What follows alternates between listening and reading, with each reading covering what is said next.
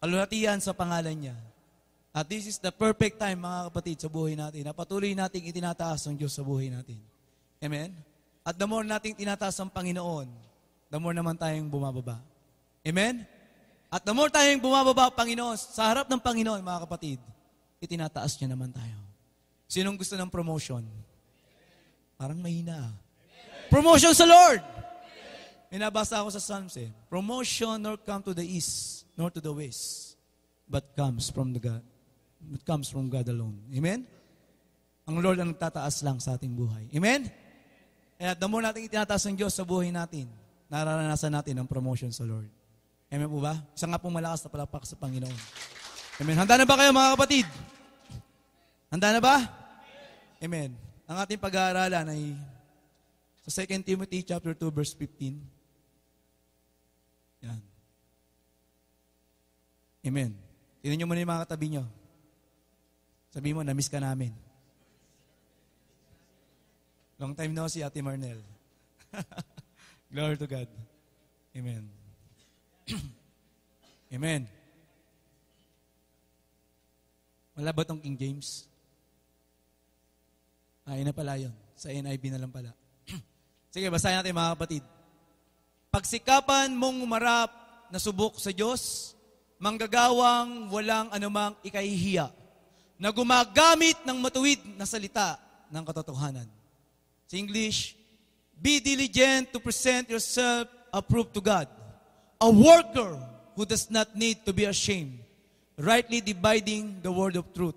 Sa NIV, mas maganda mga kapatid. Do your best to present yourself to God as one approved, a worker who does not need to be ashamed, and who correct and who correctly handles the word of truth. Amen. Sabi mo sa katabi mo, do your best. Isa pa, yung malakas. Yung pinakamalakas, sigawan mo, do your best! Amen. Hallelujah. Amen. Sige po, tayo manalangin muna mga kapatid. Hallelujah, Lord God. Maraming salamat po, Panginoon, sa isang pinagpalang araw, Lord God, sa buhay namin, O God. Napatuloy mo, Panginoon, kami, Lord God, ay inihanda sa araw na to, Panginoon. Salamat sa naranasan namin pagpupuri, pag-awitan, pagsamba, Panginoon. At maging, Lord, sa, paki- sa pakikinig ng salita, nawa, Panginoon, ikaw, Lord God, ang mangusap sa buhay namin, O God. Hayaan mo, Panginoon, yung salita, Lord God, ay ito'y tumanim sa aming mga puso, Panginoon. Lord, ikaw ang mangusap, Lord God. Hindi kami marunong, Lord God, umunawa. Ngunit sa Espiritu mo, Lord God, ipapaunawa mo, Lord God, ang mga bagay na aming hindi nalaman, O God. Ipapaalam mo, Lord, ang hiwaga, Panginoon, ng kaharian sa buhay namin, O God. At ano naman, Lord God, natitirang kasalanan sa aming mga puso, O God. Kami po ay nagpapakumbaba, Panginoon. Humingi kami ng tawad, kami po nagpapalinis, Panginoon. Kaya mo dumaloy, Panginoon, ang banal na dugo mo, Lord, sa buhay namin, O God. Upang, Lord, hindi makita at maalis, O God, ang anumang bahay ng kasalanan sa aming mga buhay. Lord God, maging ngayong lingkod, itago mo lamang ako sa iyong likuran, Panginoon. Ikaw lamang ang makita, Panginoon. Kaya mo ang iyong salita, Lord God, inumabas sa, sa bibig ng iyong lingkod, Panginoon. Ang siyang mangusap sa buhay ng bawat sa Lord God. At ito, Lord God, magkaroon ng buhay sa bawat isa sa amin, O God. Kaya mo, Panginoon, ikaw lamang ang mataas, ikaw lamang ang mapag-usapan namin. Tunay nga po, sinabi mo sa salita, Panginoon, na dalawa tatlo nagkatipon sa iyong pangalan, Panginoon.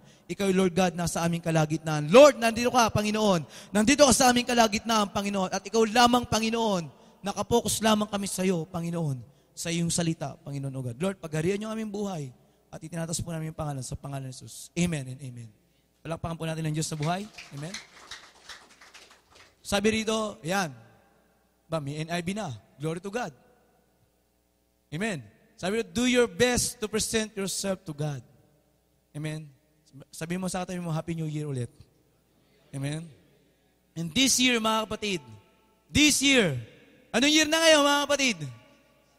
2016. At kung titingnan natin ang 2015, mga kapatid, kamusta tayo ngayon 2016? Amen? At ang nais ng Lord sa buhay natin ay gawin natin yung mas best for this year. Amen? Sino handa maglingkod sa Lord? Amen? At ngayon mga kapatid, nais ng Lord i-promote tayo. Sino handa nang ma-promote? Spiritually. Amen? Kapag naranasan natin sa Panginoon ang promotion, spiritually mga kapatid, everything's follow. Amen? Trabaho mo, pamilya mo, relasyon mo, tra- ano pa ba? Pitaka mo, kakapal yan mga kapatid. Kakapal sa, kakapal sa pulos. Amen? Pati mukha natin kakapal. Amen? Amen? Walang mahihayin kristyano, mga kapatid.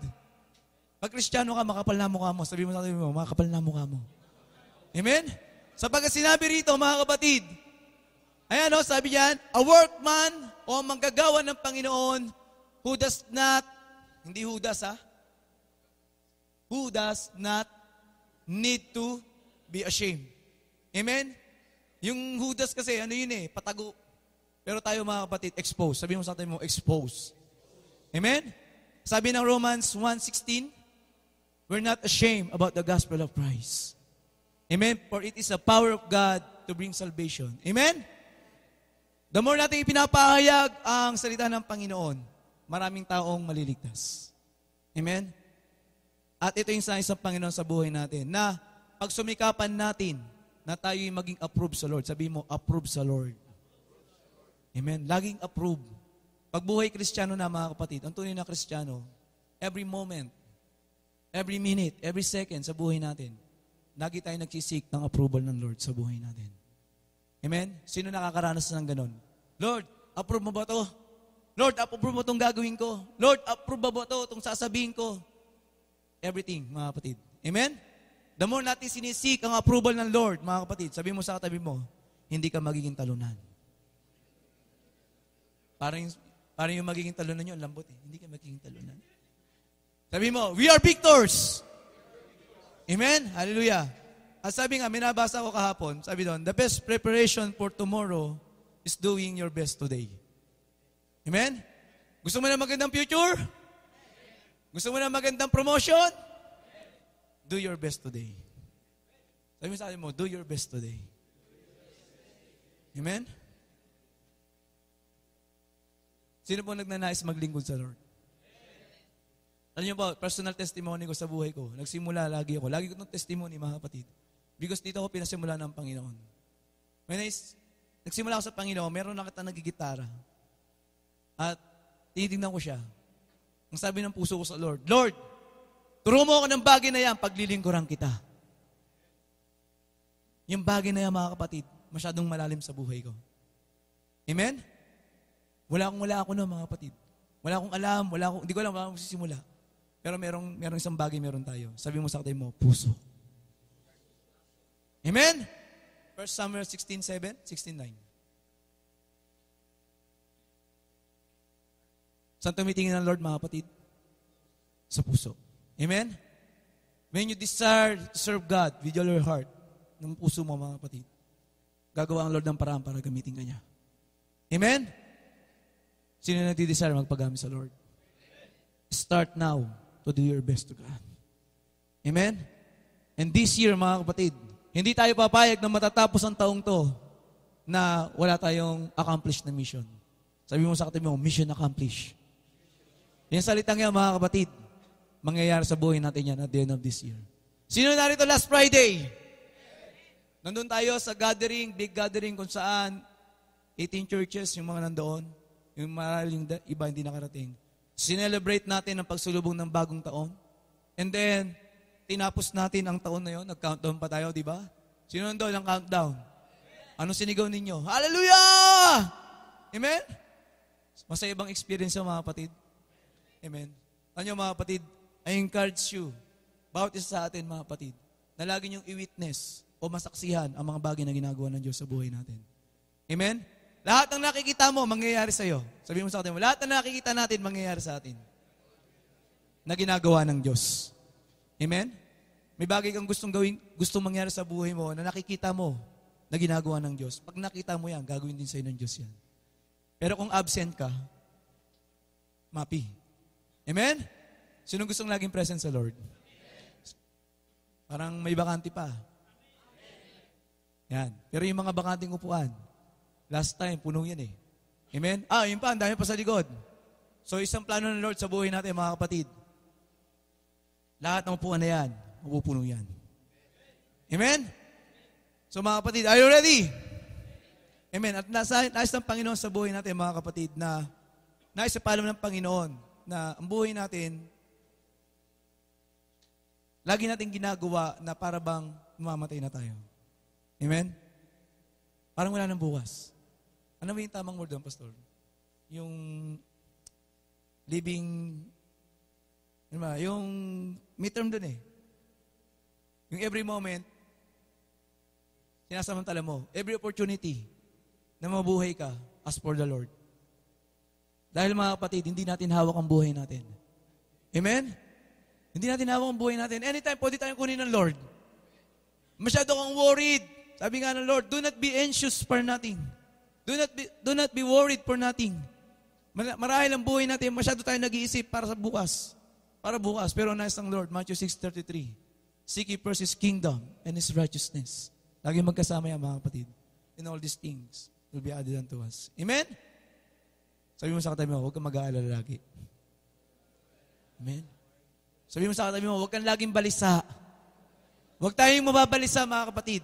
Ang, as long, as long na ginagawa natin ang kalooban ng Diyos sa buhay natin, sabi mo sa katabi mo, hindi tayo pagkukulangin. Amen? Hindi tayo pagkukulangin. 2015, sino nakasurvive? Nagkulang ba ang Diyos? No, amen. Amen? Hindi nagkulang ang Diyos sa buhay natin. Amen? And the more tayo magpapatuloy sa Panginoon, mga kapatid, mas marami ipaparanas ng Lord sa buhay natin. Amen? Kaya sabihin mo sa atin, huwag kang absent. Amen? Sabi ng 2 Peter chapter 3 verse 8, that one day is with the Lord as a thousand years, and a thousand years as one day. One day with the Lord is a thousand years. Amen? Yung isang araw na nandito ka sa gawain ng Diyos, katumbas to ng isang libong taon. Amen? Kaya pag may namimiss kang gawain ng Panginoon, meron kang namiss. May mga bagay na dapat na-witness mo, nakita mo, pero na-miss mo. Hindi na maulit yun. Katumbas na yung 1,000 years. Amen?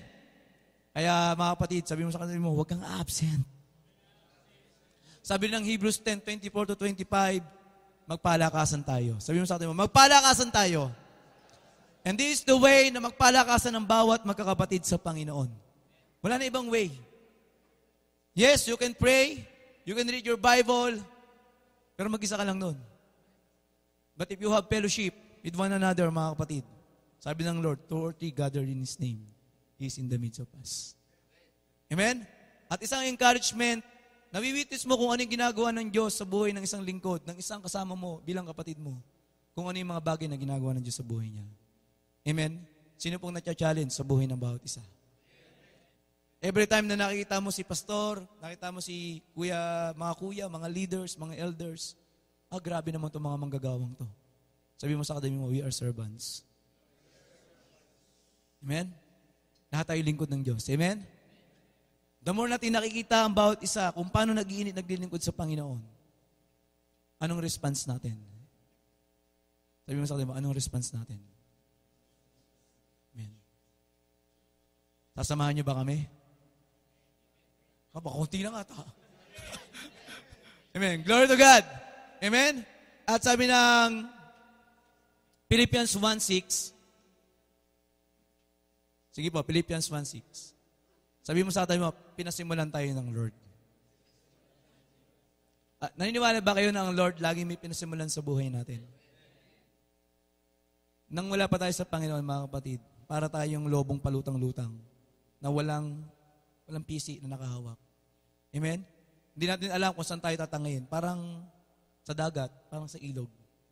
Pero salamat sa Lord, pinasimulan niya tayo. Amen? Sino dito yung nakakilala sa Panginoon? Dito na sa Saudi. O gusto kong makita. Sino-sino yan? O glory to God. Sa pa? 80%. Dito lang, di ba? Di ba may nag-invite sa inyo? Sino yung nag-invite sa inyo? Nakikita nyo rito? Amen? Ginamit ng Lord? Hallelujah! Amen. Wala sila. ah, nasa bakasyon. Amen? Pinasimulan tayo ng Lord. Sabi mo sa katabi mo, pinasimulan tayo ng Lord.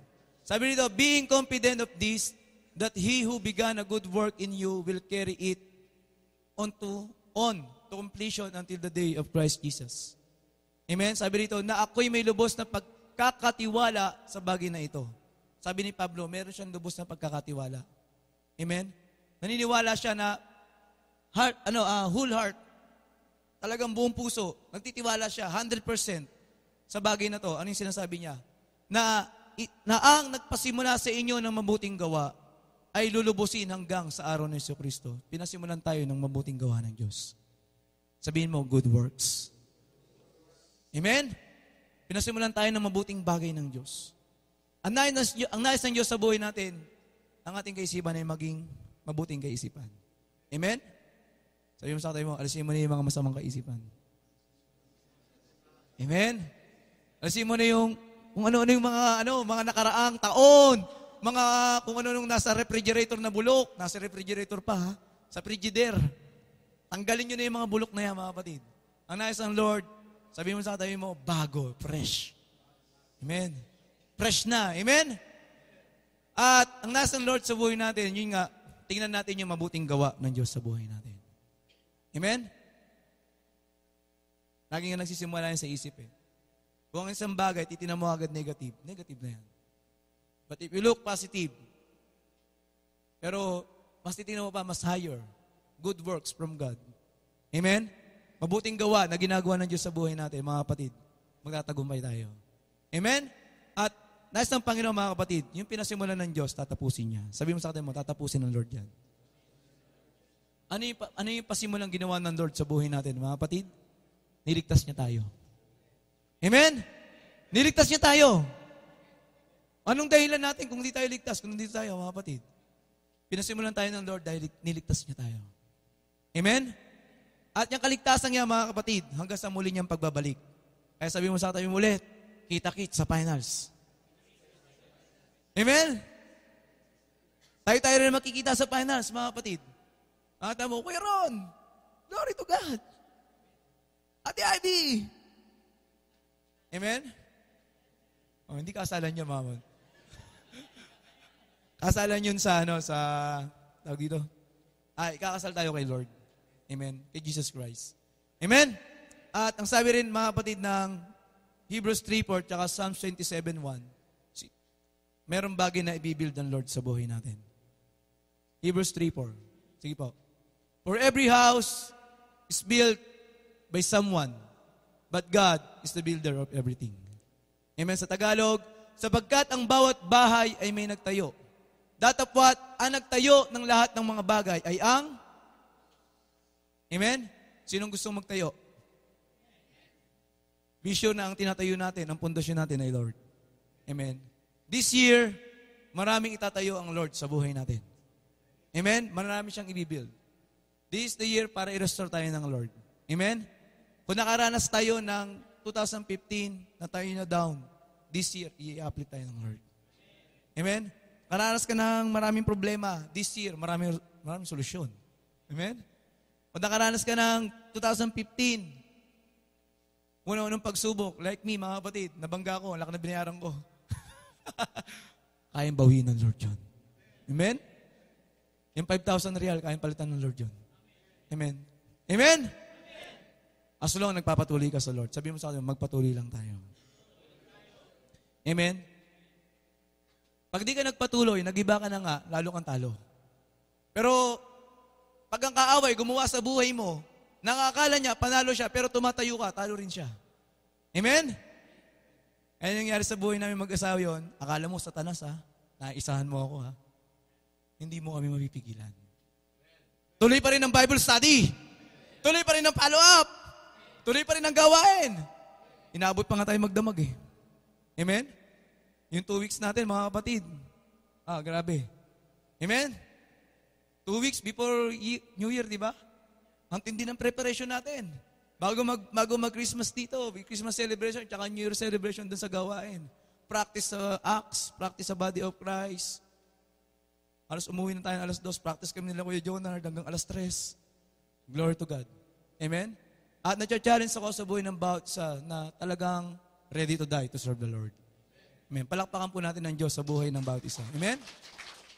And I pray, mga kapatid, na marami pa, na marami pa ang mga itong puso. Amen? Pag tunay ka ng Kristiyano, baliwala na sa iyo ang puyat. Yes, nangipag-battle tayo sa puyat. Aminado ka niya, minsan sa trabaho, na doon ako sa computer, napapagroon ako. Uy! minsan mahuntog na lang ako sa ano, uy, sakit! Amen? Alaga ano eh. Pero, di bali nang napuyat ka sa Lord. Kasi naman napuyat ka sa movie marathon. Mga walang katuturan. Amen? COC. Amen? Hindi ka looban ng Lord yan, mga kapatid. Sino yung naglalaro ng COC dati? Oy, tumamin. Pero ngayon, wala na, di ba? Ako nga, naglaro ng Boom Beach eh. Pero, ang Lord nangusap sa akin eh. Mm-hmm. Unstall na yan. Marami nang inaagaw sa akin yan, sabi ng Lord. Amen. And, ang taas pa naman level ko. Pero, the more ka sumusunod sa Lord, mga kapatid, kung gusto mong maranasan ang pagbibuild ng Lord sa buhay mo, kailangan gumawa ka sa Kanya. Amen? May pinapatayo ang Lord, kailangan niya na manggagawa. Amen? Sino ang manggagawa rito ng Panginoon? Amen. Oh, glory to God, Pastor. Dumadami. Amen? At glory to God dahil uh, marami pang ipapagawa ng Lord sa buhay natin. Siyempre, papasimulan ng Lord sa buhay natin yan. Personally. And then, to our families. Sino may mga asawa rito? O, ba't konti lang atak? Gusto ko makita may asawa? Yan. Yung may ring, yung may ring. Ah, wala yung ring. Ba't ba't yung ring? Isang la.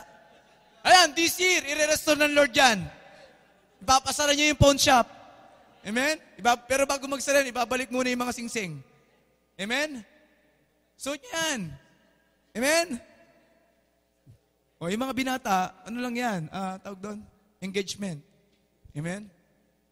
So glory to God. At sinong nasasabik na makasaksi ka ng bagay na gagawin ng Diyos sa buhay mo ngayon, taon? 2015, uh, marami akong naranasan sa Lord, especially dito sa church na to. Balik ako na yung 2014. Simula na mag-asawa kami ni Pastor. Ah, Pastora. Pastor. ni Pastor. Wala na ikasal kami ni Pastora.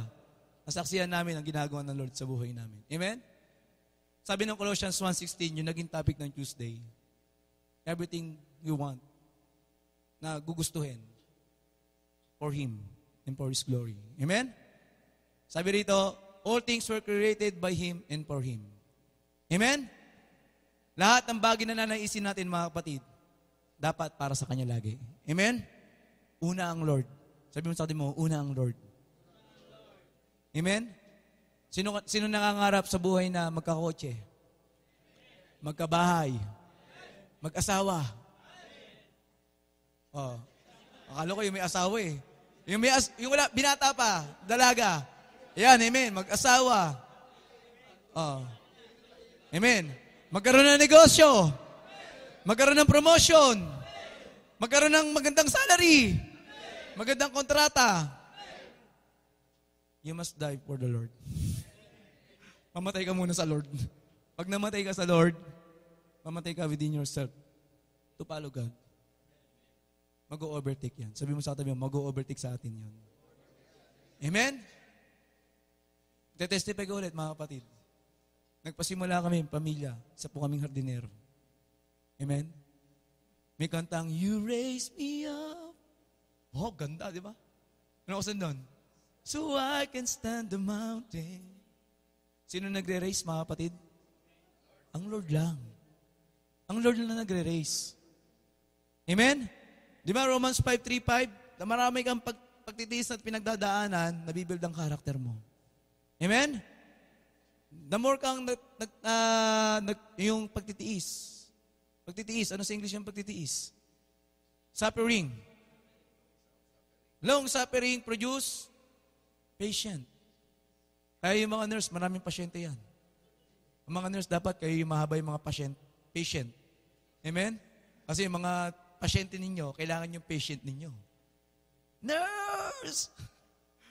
Amen. Sa mga nagtatrabaho naman, mga kapatid, may mga boss, tulad ko, boss. Lagi yung tawag, Ball. Ball! Matanda na yun eh. Talagang, at anytime, maya maya tatawag. Patient. Amen? Yung may mga mudir sa trabaho, yung mga katrabaho natin. Yes, we, we face suffering. Amen? Sa ginagawa natin. Lalo na pag ang mga kasama natin unbeliever.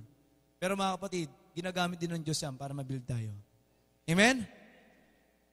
ah, I bless sa mga buhay ng mga nakatrabaho ko sa Pilipinas. Talagang challenge din nila ako. Ginawa nila ako ng masama. Pero glory to God, nanaig ang Lord. Amen? Hindi tayo nagpadala sa mga, yes, inaapi ka nila, dinadaya ka nila. Speaking, pandaraya, dinadaya ka nila. Amen? Sino nakakaranas nun? Imbis na dapat, dalawa kayo nagtatrabaho. yung isa natutulog. Eh, mas malala sa kami, apat kami. Yung isa naglalaro, isa nagsusugal, yung isa natutulog. Tapos ako nagtatrabaho. O, di ba? Pero mga kapatid, yung bagay na yon, ginamit ng Lord para ako'y mabuild din laro. Amen? Sa buhay natin, mga kapatid, lahat ng negative na ginagawa ng kaaway, mga kapatid, lahat ng negative galing sa kaaway, inaalaw lang ng Lord. Amen? Kasi walang pagsubok na dumating sa isang tao na hindi niya kayang pagtagumpayan. Ibig sabihin, sinasala. Kaya nga na-explain natin, na-explain natin, pastor, minsan si Satanas, magpapana ng sampu yan eh. Pero dahil alam ng Lord na lima lang ang kaya mo, pipilterin niya yung lima. Pero pag ikaw pakindang-kindang ka, pag ganun-ganun ka sa paglilingkod, pakida-kida ka mga kapatid, hindi mo priority ang Lord sa buhay mo. Eh, bahala ka. Sige. Gawin mo pang 20. Amen?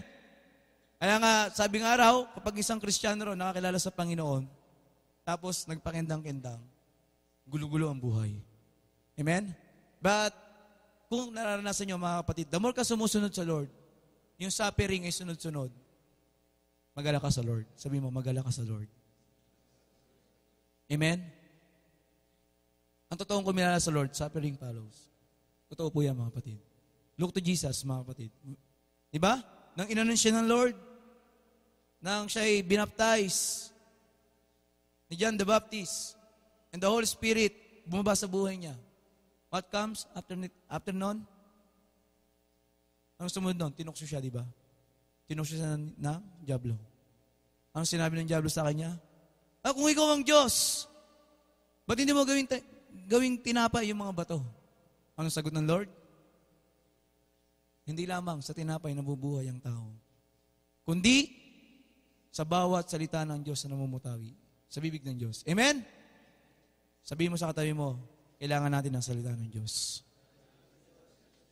And the foundation of all ministry, mga kapatid, na ginagawa natin sa Panginoon is the Word of God. Amen? Hindi tayo pwedeng gumawa ng anumang ministry na hindi sinabi ng Biblia. Marami dyan mag iimbento Amen? Kung ano nung i-invento yung ministry, pero hindi base sa salita ng Diyos. Kailangan base sa salita ng Diyos. Amen? At, ano ba ba? After noon, sumunod noon, tinuksyo siya ulit. Anong sabi? Kung ikaw ang anak ng Diyos, tumulong ka at sasaluhin ka ng iyong mga anghel. Amen? Ang sabi naman ni Jesus, huwag mong susubukin ng Diyos mo. Amen? Pangatlo, ano nangyari? Na nagtagumpay ulit ang Lord, si Satan, ano naman inoffer niya? Ibibigay ko sa iyo ang karya ng mundong to. Basta sumamba ka lang sa akin. Anong sabi ng Lord? Sasambayin mo lang yung Diyos. Amen? Marami na, inter- na misinterpret to. Kasi sabi nila, si Jesus daw ay Diyos ni Satanas. Kasi sinabi doon, sasambayin mo lang ang Diyos mo. May na, meron nag-explain ito in misinterpret. Amen? Ang Diyos, si Jesus Christ, siya ay nanatiling Diyos sa lahat. Amen? Yung masama, Diyos pa rin siya para sa mga masama. Pero hindi sa ginagawa nilang masama. Kasi lahat ng masama, mga kapatid, lahat ng kasama ng mundong to, magbabow down kay Jesus Christ. Amen? Lahat ay luluhod, ibig si Satanas. Amen? At ang katagumpayan, nasa lahat ng sumampalataya sa Kanya. Amen. Glory to God. Ba, introduction pa lang mga kapatid. Philippians 3, 13 to 14. Sabi mo sa katabi mo, forgetting what lies behind. Parang pahina na pahina. Nagalmusal ba kayo? Ang sabi ng Panginoon, limutin na natin ang nasa likuran. Amen? Sabi rito, at sinabi niya sa kanya, Philippians 4, 3, 13 to 14. Philippians 3, 13 to 14. Ayun na. Sabi rito, ayun na. Yan, mga kapatid. Mga kapatid, hindi ko pa inaaring inabot Datapwat isang bagay ang ginagawa ko. Na ang mga bagay na nasa likuran at tinutungo ang mga bagay na inaharap. Amen? Sinong may inaharap ngayong taong to? Kung may inaharap tayo mga kapatid, kailangan natin limutin ang nakaraan. Amen? Sapagkat kung meron pa tayong nakaraan na hindi naaayon sa Diyos, eh yung magiging extra baggage natin para dalhin natin ang pinapagawa ng Panginoon. Amen? Hanggat meron tayong extra baggage sa paglilingkod sa Lord, mahirap sumunod sa Lord. Amen? Lalo na yung ano, tinatawag na may galit, may puot, meron pang pagtatampo. Sabi mo sa katabi mo, wala na matampuhin kristyano. alam, niyo, alam niyo yung puno dyan sa labas? May puno dyan sa labas eh. Nakita niyo yung puno dyan? Wala na, di ba? Nabuwag. Nagtampo kasi yan eh. Ayun, nalagas siya. Nang nalagas siya, nagtampo, di ba? Nabuwag. Nandamay pa. Binagsakan tatlong sasakyan. Di ba? Kaya pag matampuhin ka, marami kang idadamay. Kaya ang dapat sa tina- ano matampuhin, pinapatay. na pinapatay yung pagiging matampuhin. Amen? Wala na matampuhin! Amen? Ano mga kapatid, naranasan ko sa paglilingkod sa Panginoon, yung matibay yung loob mo. Hindi ka madaling masaktan. Why? Paglabas mo kasi, mumurahin ka dyan. yung mga unbeliever dyan, mumurahin ka ng mga yan. Amen? Eh kung dito pa lang sa loob eh, masyado ka matampuhin, lalo na sa labas. Amen? Gusto mo magbahagi dito, kapatid mo lang sa Panginoon. Binabagian mo lang. Hindi, hindi nagustuhan yung binabahagi mo, hindi niya matanggap. Nagtampo ka na. Eh paano na yun sa labas? Amen? I experience mga kapatid. Um, di ba sa mga trabaho, pinapagalitan tayo ng boss natin kung minsan? Oo, oh, sinong hindi? Lahat tayo, amen? Nagagalit yung boss natin. What are you doing? Uh, ganunin ka. Ito lang ginawa mo sa San Linggo. Lang. Ginagano kami. Ito lang ginagawa mo. Sit, sit, sit. Sit alone. Upo lang na upo. Sabi, may gano'n, may mga gano'n silang term. Pero lahat yung mga bagay yung mga kapatid, di ba natitake natin? Amen? Na parang, sige, okay lang, boss naman natin yan. Eh. Pero for the sake of, for the sake of what? Pulus. Amen? Kasi pag sinagot natin siya, lumaban tayo sa kanya, wala tayong trabaho. Amen? Kakaltasan tayo. Amen? Mapisyukol. Amen? At salary. Mangyayari ang mga kapatid. Pero tinitiis natin, di ba? Eh paano na kaya pag ang pastor natin ay eh, hinihimas-himas tayo noon. Pero ngayon, pinapalo na tayo. Amen? Alam mo, kinorek ka ng pastor natin. Mali yung ganyan, kapatid. Eh, ang hinahon pa, nagtampo na. Uy, na ako. Kinorek ni pastor. Di na ako tatalo. Next Friday, tatlong Friday. Amen? Malit na bagay lang yan, mga kapatid. And this is reality, mga kapatid. Kung bakit ang isang Kristiyano ay hindi mangyari ang, ang plano ng Diyos sa kanyang buhay sa bawat pagkakataon dahil, yun, matampuhin. Amen? Ang nais ng Lord sa buhay natin, magpasubmit tayo sa Kanya. Amen? At isa pa mga kapatid, yun nga, verse 14, na nagtutumulin ako sa hanggana ng gantimpala ng dakilang pagkatawag ng Diyos kay Kristo Jesus. Amen? Sino niniwala may panawagan ng Diyos ngayong taon sa buhay natin? Amen? This church, may panawagan to mga kapatid. Amen? Ang panawagan ng church sa buhay natin, sa bawat isa, is to go.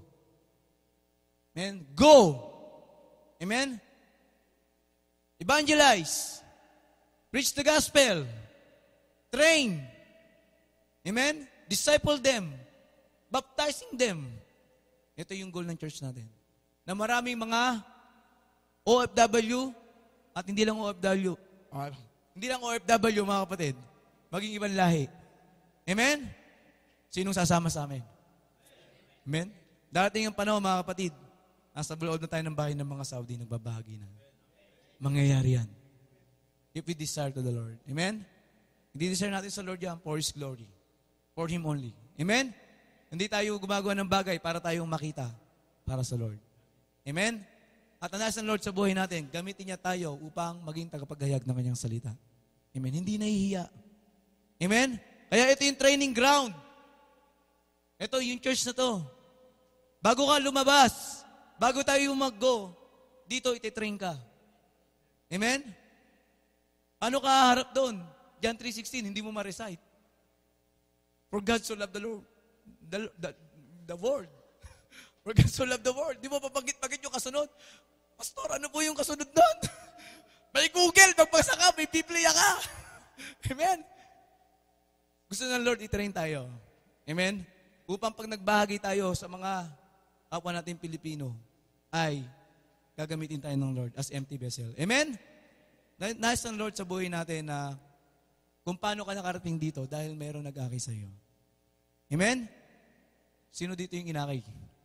Diba sabi ng Luke 6, Luke 6, 39 to 40? O Mark 6? Luke 6, 39 to 40. Diba? Pag ang bulag, umakay sa kapwa bulag, kapwa sila, mahulog sa hukay. Amen? Pero glory to God, hindi bulag ang umakay sa atin. Amen? Isang nakakita, isang nakakita ng tunay na paglapit sa Diyos. Amen? Sino tumanggap na sa Panginoong Yeso Kristo? Nananampalataya ba tayo na ang Panginoong Yesus ay Diyos? Nananampalataya na siya ang tagapagligtas? If you believe in your heart, sabi nga ng Romans 10, 9 to 10, 10, 9 to 10, if you confess with your mouth that Jesus is Lord and believe in your heart that He raised from the dead, you will be saved. Amen? You will be saved. Pag kinumpes mo ng labi mo na Jesus, ang, na Jesus ay Panginoon at naniniwala ka sa iyong puso na siya'y namatay at muling binuhay, siya'y muling nabuhay, maliligtas ka. Amen? At itong bagay nito, ito yung nais ng Lord, ipabahagi natin sa mga taong wala pang pagkakilala sa Kanya. Sabi mo sa katabi huwag tayong selfish. Amen?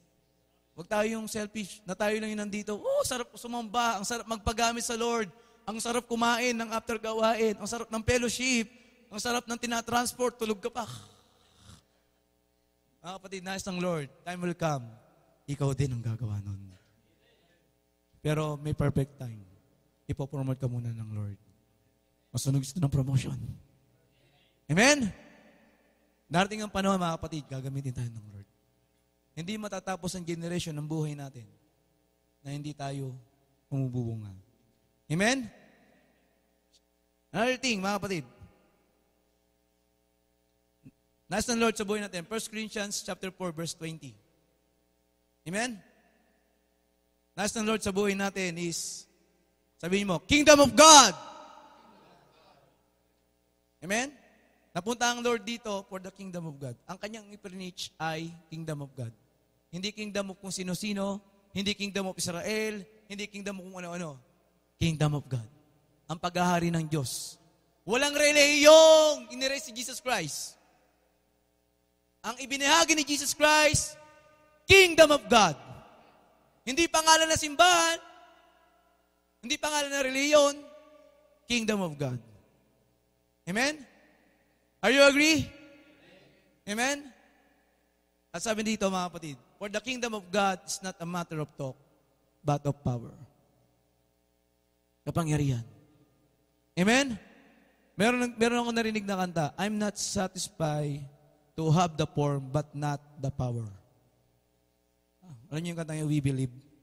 I'm not satisfied to have the form, but have not power. Minsan, naranasan ko sa buhay kristyano, dalo ko ng dalo. Dalo ng dalo. Pag uwi ko, ano nangyari? Kasi ba naman ako? Nagdamit naman ako. Nakanektay pa nga ako eh. Pag uwi ko, ba't ako na-bless? Ba't parang may kulang sa akin? Because the empowerment of God ay wala sa buhay natin. Amen? That's why pag nagbabahagi ka, parang hindi sila naniniwala sa'yo. Amen? Ang kailangan mangyari sa buhay sa atin yung kaharian ng Diyos. Amen? Yung kingdom of God, nagpinaghaharian tayo ng Diyos. Sabi mo sa pinaghaharian tayo ng Diyos. Hindi usapin sa buhay kristyano ay pinanganak na kristyano, ay kristyano ka na. Oh, hindi totoo yan mga kapatid. Kahit ang mga magulang mo ay kristyano na, hindi mo sabing kristyano ka unless na tumanggap ka na. Amen? Wala naging kristyano, pag, pag sila mo, kristyano ka na agad. Hindi. Meron ka pang freedom. Baka gusto mo Muslim. gusto mo maging Buddhist. Gusto mo maging Taoism. May freedom ka. Kailangan, pag lumapit ka sa Lord, you must confess with your, with your mouth. And you must repent. Repent! Amen? Sabi ng Acts 2.38, Repent and be baptized, and you will receive the power of the Holy Ghost. And this is the power of God. Amen? When you really accept Jesus Christ in your heart, talagang tinanggap mo ang Lord, mga kapatid, sa puso mo, sa buhay natin, mararanasan mo ang kapangyarihan ng Diyos sa buhay natin. Amen? Maybe magtatagal siya. Maraming mga bagay ka mararanasan sa Panginoon. Minsan kasi ang tao kasi tumitingin lagi sa product eh, yung outcome. Pero the more kang sumusunod, the more mo mararanasan ng Lord. Amen? For the kingdom of God is not about matter of talking. Yung, dito di ba, girgir. Marami dito girgir, girgir eh. And dito sa labas, mga kapatid, lalo yung mga Muslim na yan, ang dami nilang girgir, girgir, girgir. Amen? Kung sino-sino sino yung nagbabahagi sa akin, may Indiano, may Pilipino, may Egyptian, they're sharing. Girgir, girgir, girgir, girgir. Pero yung power, wala. Amen? Sabi ko nga doon sa isang Pilipinong mutawa, kausap ko sa phone. Sa tingin mo, mahihikayat mo pag, sa ganyang paraan mo ng paghihikayat sa akin. Amen? Nilalapastangan niyo yung paniniwala natin. Amen? Wala, sarado yung tenga niya. Kaya huwag na kayo makipagdebate sa kanila. Hayaan niyo na sila. Amen? Darating ang panahon, pag ginamit ka ng Lord para sa buhay nila, gagamitin ka nila, makakakilala sila. Pero kung makipagdebate ka, mga kapatid, hindi ka looban ng Lord yan. Amen? Sabi mo sa atin mo, wala nang debate. Amen? At isang bagay, mga kapatid, nasa Lord sa buhay natin ay magbunga tayo. Amen? Nasa Lord, do your best. Pag ginawa mo yung best mo sa Lord, mga kapatid, sabi mo sa atin, magbubunga tayo. Amen? Bunga.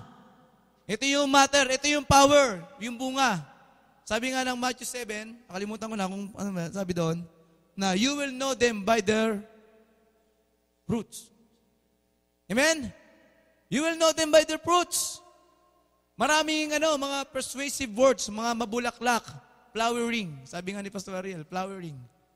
Mga magsasalita sa buhay natin. Mga kapang-akit-akit na pananalita because of the wisdom of man.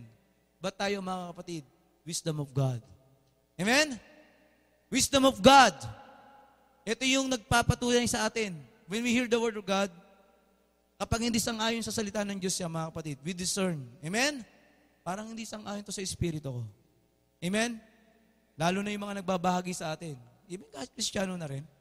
Hindi lahat ng kristyano, ah, pag nagbahagi, ay masasabi mong, marami, tama. Kahit mga pastor nga, nagkakamali pa eh. Amen? Nga, may nasabi sa akin si Pastor Ariel, yung Koreano, nagkamali sa sinabi niya eh. So what we gonna? Anong gagawin natin, mga kapatid? Pag-pray natin sila. Amen? Tao pa tayo, mga kapatid. Anytime magkakamali tayo. Pero kapag may kapangyarihan tayo ng Espiritu ng Diyos, mga kapatid, may kapangyarihan sa buhay natin. Amen? By their fruits, a fruit, wala pala siyang S, you will not recognize. Amen? Mare-recognize natin. Maging Lord, mga bago sila, tayo muna. Amen? Sa atin muna. Tayo muna yung tingnan natin. Sarili muna natin. Kamusta, mga kapatid, ang bunga ng Espiritu sa buhay natin? Bago tayo magbunga ng mga kaluluwa, yung i-require ng Lord sa buhay natin is the fruit of the Spirit. Galatians 5:22-23. Amen? The fruit of the Spirit, ano yan mga kapatid?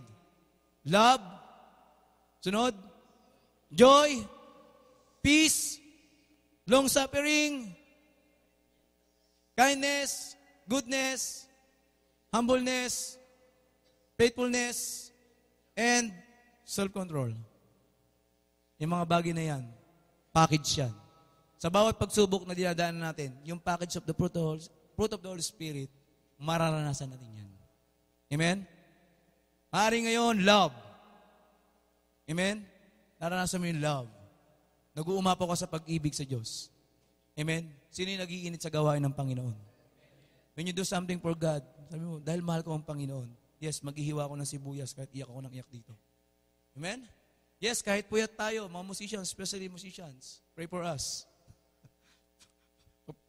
Ipanalangin niyo yung mga musicians natin, mga kapatid. Amen? Glory to God. Meron tayong mga musicians na uh, uh, yung mga trabaho nila, give, nagbibigay sila ng extra time. Amen? Extra time. Sino gusto mabigay ng extra time sa Lord? Sino nagdi-desire naging, maging musician? Amen? Yan ang magiging susi ng Lord para pagpalain ka. Amen? Ano pa ba? Marami yan. Joy, peace, kagalakan. Lahat malungkot na pero magala ka pa rin. Amen? Sa paligid natin, marami mga nega, pero tayo hindi. Meron tayong kagalakan sa Panginoon. Pangit ang nangyari, masaya pa rin tayo. Kasi yung kagalakan natin sa Panginoon. Naalala ko noon, nung pinigilan ako ng kumpanya na pumunta ng Jeddah. Nag-resign na kasi ako noon eh. Talagang blinak, talagang hindi nila ako pinayagang umalis. Sabi ng mga katrabaho ko, sila yung hindi makatulog eh. Bal, sayang naman yung kontrata mo doon. Laki, sayang. Sabi nilang gano'n. Sabi ko naman sa sarili ko, hindi yun kalooban ng Lord. Amen? Pero tayo mga kapatid, hindi tayo after doon. Unahin natin ang kalooban ng Lord. Amen? Hindi magkukulang ang Lord, mga kapatid.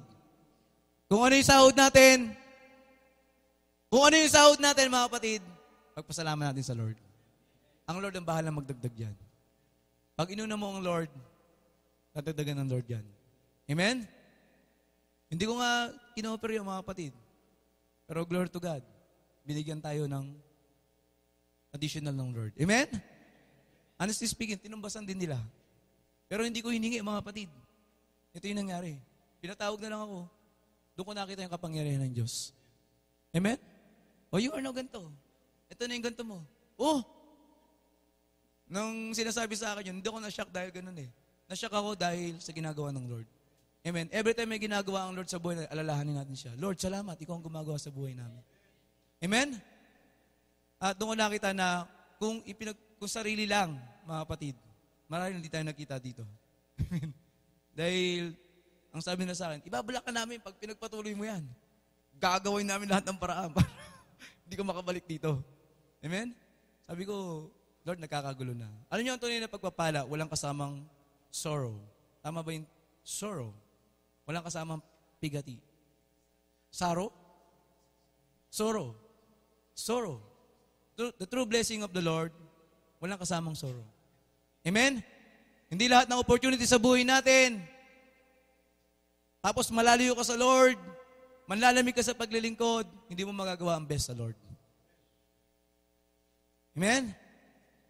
Yung best na dapat mo magawa sa Lord, hindi mo siya inuna, hindi mo magagawa yun. Yes, sabi ng Lord, without me, you can do nothing. Pero malaki ang part natin para magdesisyon. Amen? Di ba may kanta tayong, I have decided to follow Jesus. Amen? I have decided to follow Jesus. May tatlong bagay ako nalaman noon. Pag sumunod ka sa Lord, walang regret. So yung sabi mo, no regret. Ano ba yung regret? Pagsisisi, panghihinayang. Amen? Meron pang ano eh, meron no turning back. Pag sumunod ka sa Lord, no turning back. Amen? Sabi nga, di ba, pag pumihit ka, sumunod ka na sa Lord, walang 360. Kailangan 180. Once you repent to God, hindi 360, Lord, hindi ko na gagawin itong bagay na to. Umihit kayo, no, 360. Lord, dito ulit ako. Pag pumihit ka, 180. Amen? Then, turn. Turn away. Amen? Di ba may awitin gano'n? Sabi sa Psalms, If my people will humble their, themselves, will humble themselves, humble themselves, and pray. If they seek my face and turn on their wicked ways, I will hear. I will heal their land. Sinong gustong mahil tayo ng Lord? Alam nyo mga kapatid, sinisa sa buhay natin, kapag the more kang sumusuway sa Lord, malayo ang Lord sa buhay natin. Nagkakatawag doon? Nagkakawindang-windang. Naranasan ko sa buhay ko yan mga kapatid. Kristiyano na ako, pero may ginagawa ko hindi kalooban ng Diyos. Nagkakawindang-windang ako. Amen? Pero nang tinayuan ko yon mga kapatid, sa tulong na pa, nagsisi ako doon, sumunod ako sa Panginoon, inayos ng Lord. Amen? At nasa Panginoon sa buhay natin, sabi mo sa tayo mo, diretso lang tayo. Amen. Focus lang tayo. Amen? Huwag kang titingin sa kaliwa, huwag kang titingin sa kanan. Sumunod ka lang, diretso ka lang sa Lord. Yes, habang sumusunod ka sa Lord, marami. kaliwat kanan. Maraming struggle. Maraming, maraming papatid sa'yo. Maraming magdi-discourage sa'yo. Maraming aawat sa'yo. Like yung mga kapatid natin sa Abas. Amen? Pinipigil lang sila ng sarili ng takot. Amen? Pagpray natin sila. Encourage them. Amen? Ang dami nila eh. Sayang. Sayang, gagamitin sila ng Panginoon. Pagpray natin sila. At hindi mangyari yung tinatawag na ah, susundin natin yung tao. Yes, we submit, pero we must obey God rather than men. Amen? Isang testimony na dyan ang mga sisters natin, CDC. Amen? Dati, yung bago sila rito, wala silang alam. Hindi nila alam paano sila maglilingkod. Hindi nila alam paano sila labas. Pero mga kapatid, nagpatuloy lang sila. Para lang makati ng gawain yung mga yan, mga kapatid. Saksi ako, mga kapatid. Tumatakas yung mga yan. Tumatakas. Amen? Ayaw nyo kaming palabasin. Sige, gagawa kami ng paraan para makapagsimba kami. Amen? Nakikipagsalisihan doon sa reception. Pag reception nag-CR, takbuya, ah, labas kami. Ando naman ako sa kotse, nakaba na. Mm, mm, mm, mm. Amen? Mapalad tayo mga kapatid, malaya tayo. This is a challenge for us. At ito pa mga kapatid, mga babae yan. Amen? Mga babae pa yan. Nakipagpatintero yan. Sabi, daan-daan lang. Daan-daan lang. Pero kumakalabog, no? Daan-daan lang. Amen? Si, isipin niyo mga kapatid, hindi lang yan. Nangyari sa buhay na yan para mag-encouragement sa iba. Amen? At nasa Lord sa buhay natin, magbunga nga tayo. Amen? At isang bunga ng Lord, yan, mga tiisin sa buhay natin para sumunod sa Kanya. So gusto ko lang din i-emphasize yung Luke 13, 6 to 9. Amen? Luke 13. Nandito pa ba kayo mga kapatid? Gusto ngayon ng malat eh. Ang daming na malat ngayon. Store. Pati yung insurance ko, malat eh. na, namalat ako sa kakausap sa kanila. Bakit ko kailangan magbayad? Saan ba't ako pupunta ron? Tawag na naman sa phone. Ang dami ko naubos na load sa kanila. Namalat ako sa kakatawag eh. Ayan. Sabi rito, ah, at sinalita niya ang taligang ito. Isang tao ang may isang puno ng igos na nagtatanim sa kanyang ubasan. At siya'y naparoong umahanap ng bunga niyaon at walang nasumpungan. So may isang tao na napunta, napadaan sa kanyang ubasan, may- ah, umahanap siya ng bunga, in-expect niya may bunga yung isang puno na yon pero wala. Verse 7, at sinabi niya sa nag-aalaga ng ubasan, narito, tatlong taon nang pumaparito akong mahanap ng bunga sa puno ng igos na ito at wala akong masumpungan. Putulin mo, bakit pa makakasikip sa lupa? Bakit pa makakasikip sa lupa? So ang suggestion niya, three years na akong papunta-punta rito. Sino yung three years ng Christian? O three years. More than three years. Kung gusto ko makita, more than three years. More than three years. Yung iba, ba, ba, ba. Ah, may palugit pa. sabi rito, sabi ng ano, ng nag sabi ng isang strangers doon sa nag-aalaga ng ubasan, ah, tatlong taon na ako dumadaan dito. Akala ko, ano, wala akong nakita ang bunga dyan sa puno ng igos na yan. Ang suggestion niya, putulin mo na yan. Putulin na akat. At bakit pa makakasikip? So, ibig sabihin dito mga kapatid, pag walang bunga pala, pinuputol na. Kasi bakit? Nakakasikip. Amen? Pero ito mga kapatid, verse 8. At ang pagsagot niya ay sinabi sa kanya. Sumagot naman yung nag-aalaga ng ano, ng ubasan. Panginoon! O ayun pala, yung, yung pag-alagala, Panginoon pala yun. Panginoon, pabayaan mo muna sa taong ito. Wow, these years. Ah, this year. Leave it alone for one more year. Oh, ha? This years, ang dami nun. And sabi rito, sa taong ito hanggang sa aking mahukayan sa palibot at malagyan ng pataba. So, meron pang ano? An ano bang tawag sa ganyan? Nakipag-deal pa. Lord, one more year. Ha? One more year muna, Lord. Tingnan ko muna. ah, sino dito nagtanim? Sino dumaan sa agriculture? Yung Sa high school, agriculture, home economics, di ba? Kasi sa probinsya, hindi na kailangan ng home economics dyan. Talagang magtatanim kayo dyan. Elementary. Kaya nga sabi, di ba may kantang, magtanim, ay biro. Amen? Maghapong na kayo ko. Amen? Di na nga, mga upo, di na makatayo. Mahirap yan kasi mga kapatid. Yung sabi, hindi to. Masakit sa likod. Pero hindi ko naranasan yan. Nakita ko lang. Tuwing dumadaan ako doon sa amin, sa De La Paz, ah, De La Paz, sa Kabuyaw, kita ko sila. Maghapon silang, andun sa Biledan. Kaya sanay sa araw yan, mga kapatid. Pag nigingot ka ng Diyos, mga kapatid, dapat sanay ka rin sa araw. Sinong sanay sa araw? Pag di ka sanay sa araw, hindi ka sanay sa init, hindi ko sinasabing lamigin ako. Pag gagamitin ka ng Lord, mga kapatid, hindi pwedeng nasa comfortability ka. Amen? Kung gusto mo paggamit sa Lord, handa kang mag-sacrifice. Handa kang mawala sa comfort zone mo. Sino dito yung di nagalmusal? Ha? Oh, ilan lang ah. Hindi, hindi ka nagalmusal. Sino yung puyat? Puyat. Handa tayo. Amen? Sino yung walang natulugan? Pero nakatulog? Ibig sabihin mga kapatid, ah, kahit saan ka na lang matulog. Amen? Sino yung tambak yung labahin? Pero yun naman yung Lord. Ito yung matter dito mga kapatid. Pag handa ka sumunod sa Lord, tuturukan ng Lord, magkaroon ka ng comfortability sa Kanya. Amen? Dati hindi mo kayang matulog sa, ka- sa hindi mo kama. Pero kahit papagdalang yan, kaya matulog yan. Alang-alang sa paglilikod. Amen? Dati, ang, ang tulog mo, alas 10. Dapat 10 o'clock, nakahiga na ako sa aking, ano. Nakahiga ka na. Nakahiga ka na sa kotse kasi alas 2 na, sa kotse ka pa. Nagtatransport pa rin. Amen?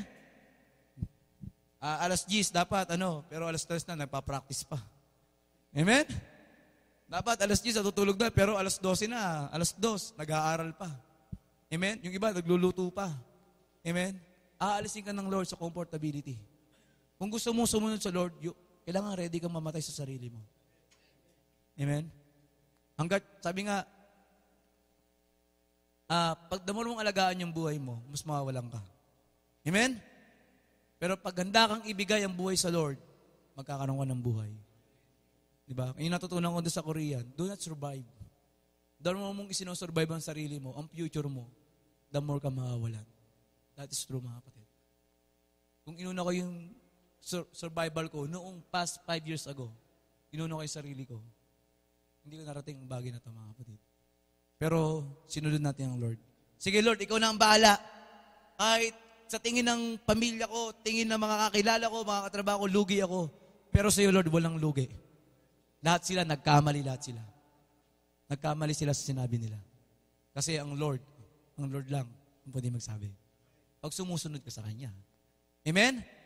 Pag willing ka mag-sacrifice para sa Kanya, hindi ka pagkukulangan ng Lord. Amen? Kung titignan ko yun, 15 years ago, tagal. 15 years ago. Yung, yung 13 years na nakaranasan ko sa paglilingkod sa Panginoon, ang daming suffering, mga kapatid. Ang daming suffering. And I know, nakaka-relate kayo. Tamba ka sa utang, may sakit ang magulang mo, may sakit ang kapatid mo, babayad ka ng bahay, ang sahod mo kakapiranggot. Uuwi ka ng lugar mo, ang daming adik, ang daming nagiinuman. At isa pa, may package pa, ang baho. Pag nag-CR yung kapitbahay, kumakain ka, kasama sa plasyon. Pag nag-CR, amoy mo yun. Mm, ulam. Amen? Totoo yan, mga kapatid. Pag bumabaha doon, pag bumabaha doon, mga kapatid, ah, napaganda. Tutulog ako, ah, ganun ako. Pag ganyan ko, oh, bahala! Bahala, tatatay, nalay, bahala! yung higaan ko, yung ba, nakalevel na sa higaan. Pag ganun ako, pag ganyan ko, parang lumamig. Ah, bahala, tatay, nalay, bahala! Tapos biglang angat yung tubig, ang leeg agad. Talagang akit lahat ng gamit. And don't, don't know kung ano pwede mangyari. Baka mamaya tumaas pa. Pero yung mga bagay na yung mga kapatid, hindi na naging hadlang yon para maglingkod sa Lord. Amen? Tapos dito sa Saudi, labahin lang, di ka dadalo. Uy, meron akong ano, yung, ka, yung katrabaho kasi bisita, hindi ako dadalo. Make priority sa Lord. Amen? Napuyat ka lang, galing mo ang trabaho eh. Alam mo mga kapatid, more ka mag-sacrifice na naglilingkod sa Lord, lalo ka niyang i-bless. Di ba sabi ng 1 Corinthians 15.58? Our labor in the Lord is not in vain. Amen? The more kang nagsasacrifice sa Lord, nagbibuild para sa Lord, masusustain yan. Amen? O, anong sabi dito? Ang nasa ng Lord, sa, kanina sa Luke 6, Luke 13, 6 to 9, sabi mo sa atin mo, lagi may last chance tayo. Last chance na lang lagi ang pagsunod sa Lord. Sabi mo, last chance. Last chance. This really, mga kapatid, laging last chance tayo sa Lord. Hindi ka kailangan magpatumpik-tumpik. Hindi, patatawarin mo ako Lord sa susunod eh. Hindi, may makapaglingkod pa naman ako susunod. No, kapatid. Laging last chance. Mga kapatid, dito meron, sa linyang nandito, hindi niya siya naabutan. Pero naabutan namin siya. Most of na mga matatagal na rito. Kuya Danilo, pangalan niya. Namatay siya. Namatay siya. Ang laki ng katawan no, mga kapatid. Bato-bato. Bato-bato katawan no, malaking tao. At kung physical, pag-uusapan, physically fit. Sa ganda ng tipo ng katawan niya. At bangis siya maglaro ng basketball. Talagang uh, top player siya ng kumpanya niya. At hinihiram-hiram pa siya. And who knows, ba? Pag sinabing basketball player ka, tapos eh, para ka si James Yap, eh, ibig sabihin, physically fit ka. Who knows? Hindi na po siya nagising. Hindi natin hawak ang buhay natin. Men? Hindi natin hawak ang buhay natin. Pagkagising niya, patay na siya. Amen? Hindi, hindi natin alam, mga kapatid. Ito pa, mga kapatid. Another thing. Meron kakilala ng limang pastor sa Kabuyaw. At kasamahan po yun ng aking kapatid, si Pastor Mike sa Pilipinas. Which is Body of Christ din. Limang pastor yan, mga kapatid. At pupunta sila ng Tacloban. Alam ko, narinig ni Kuya Jonor din. Limang pastor sila, mga kapatid. Na-aksidente sila, pati silang lima. Mga pastor na yun, ha? Amen? Hindi natin hawak ang buhay natin, ma'am. Huwag ka masyado mag-worried para bukas. Ang i-worried mo ngayon, ano ka sa harapan ng Lord ngayon? Ano yung ginagawa mo para sa Lord ngayon? Amen? Hindi mo hawak ang buhay. Anytime. Sinong ready anytime? Pag ready ka anytime, ibig sabihin, nag-aalab ka sa Lord. Amen? Yung mga taong takot mamatay, Lord, di pa ako ready. Yun yung katotohanan nun. Amen? Paano ka magiging handa sa pagharap sa Lord? Pag sumusunod ka sa Kanya. Amen? Pag ginagawa mo yung kalooban niya. At ang babalikan ng Lord, mga kapatid, yung may Espiritu ng Lord. Amen? Sabi ng Romans 8, 14 to 16, yung may Espiritu niya. Ayun yung marka natin. Amen? Sige nga, basahin nga natin Romans 8, 14 to 16.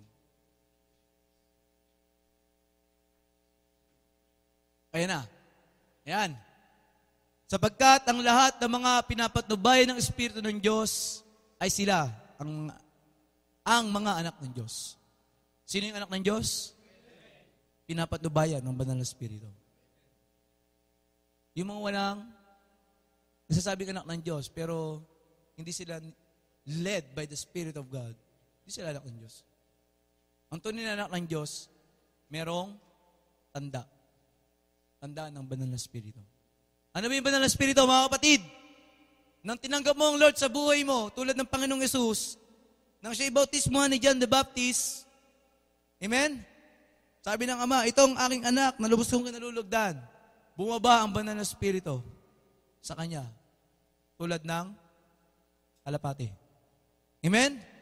At after nun, mga kapatid, nagmanifest sa buhay niya. Amen?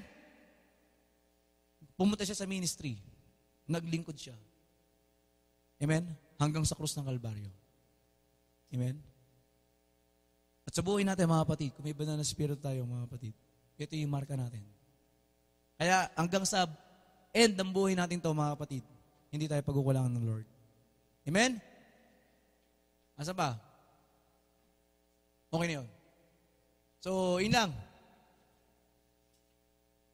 Meron pa akong gustong ibagi. Um, yes, sabi nga, gusto ko sanang basahin yung Matthew chapter 10, yung buong book. Matthew chapter 10. Ito yung isa sa paborito kong part sa Matthew. Matthew chapter 10. Sino nga daw mag, gusto maglingkod sa Lord? Wala? Amen. Amen! Ano mga kapatid, dito sinusubukan tayo ng Lord. eh. Word of God? Tagal naman ni Pastor.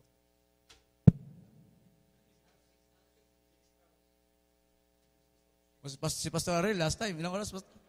Six hours! Six hours preaching! Ang bilis, parang wala nangyari. Ang bilis sa six hours. You know, kasi pag you, nakikinig ka, di ba, na-explain ni Pastor ng Tuesday, hearing and listening. Halimbawa, narinig mo, bug! Narinig mo lang. Pero pag nakinig ka, hmm, baka may truck yan, truck yan. Na-determine mo kung ano yung sound. Pero pag nakinig ka lang, bug, ah, bug, kalabug. Amen? Pero alam mo mga kapatid, pag nakikinig ka sa salita ng Diyos, kahit yung nagsasalita, bubulol-bulol pa. Amen? Yung P niya, nagiging F. Yung ko kung bakit. pag attentive ka sa Word of God, hindi mo, hindi mo matter yung oras na yan. And this is the truth. Sabi ng ibang mga church dito, naku, pag sa amin yan, nag-aalburuto na daw yung mga ano, mga member. Ah, dito hindi pwede yan. Hindi po pwede dito yan, mga kapatid. Bukas ng pinto. Matira matibay dito, mga kapatid. Word of God lang, di, pinagba, pinag, ano, pinaglalabanan mo. Word of God, tagal. And this is the truth, mga kapatid. Sa buhay paglilingkod ko, naranasan ko mga kapatid, babaran. Babaran! Babaran ang mga naranasan ko mga kapatid. Babaran sa puyatan. Babaran sa gawa ng katawan. Pawis dugo. Pawis dugo, no?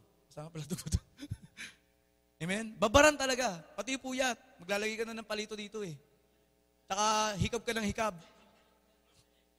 It is, uh, Sige, as for the Lord. Ma, simpleng pagtitiis lang yan, mga kapatid.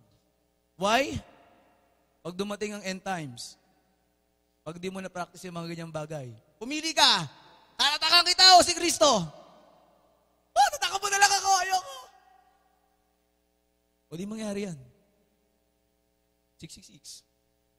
Mamahalin mo ang mundo. Eh, makinig lang ng Word of God. Ng 1 hour, 2 hour. Eh. May labahin pa ako. Meron pa ako. Tutulog pa ako. That's truth, mga kapatid. Amen? Lalo na yung pag-leader mo, medyo ano, medyo, medyo matindi. Kuya Ruter, ah, kilala ni ano yan? Ate Marnel.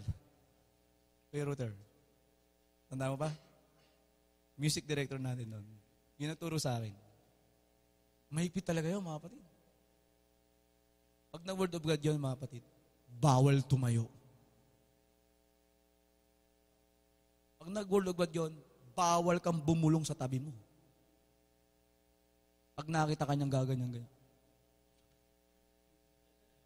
Ops, teka lang! Anong pinag-uusapan yung dalawa yun? Ah, ganun din kayo nun.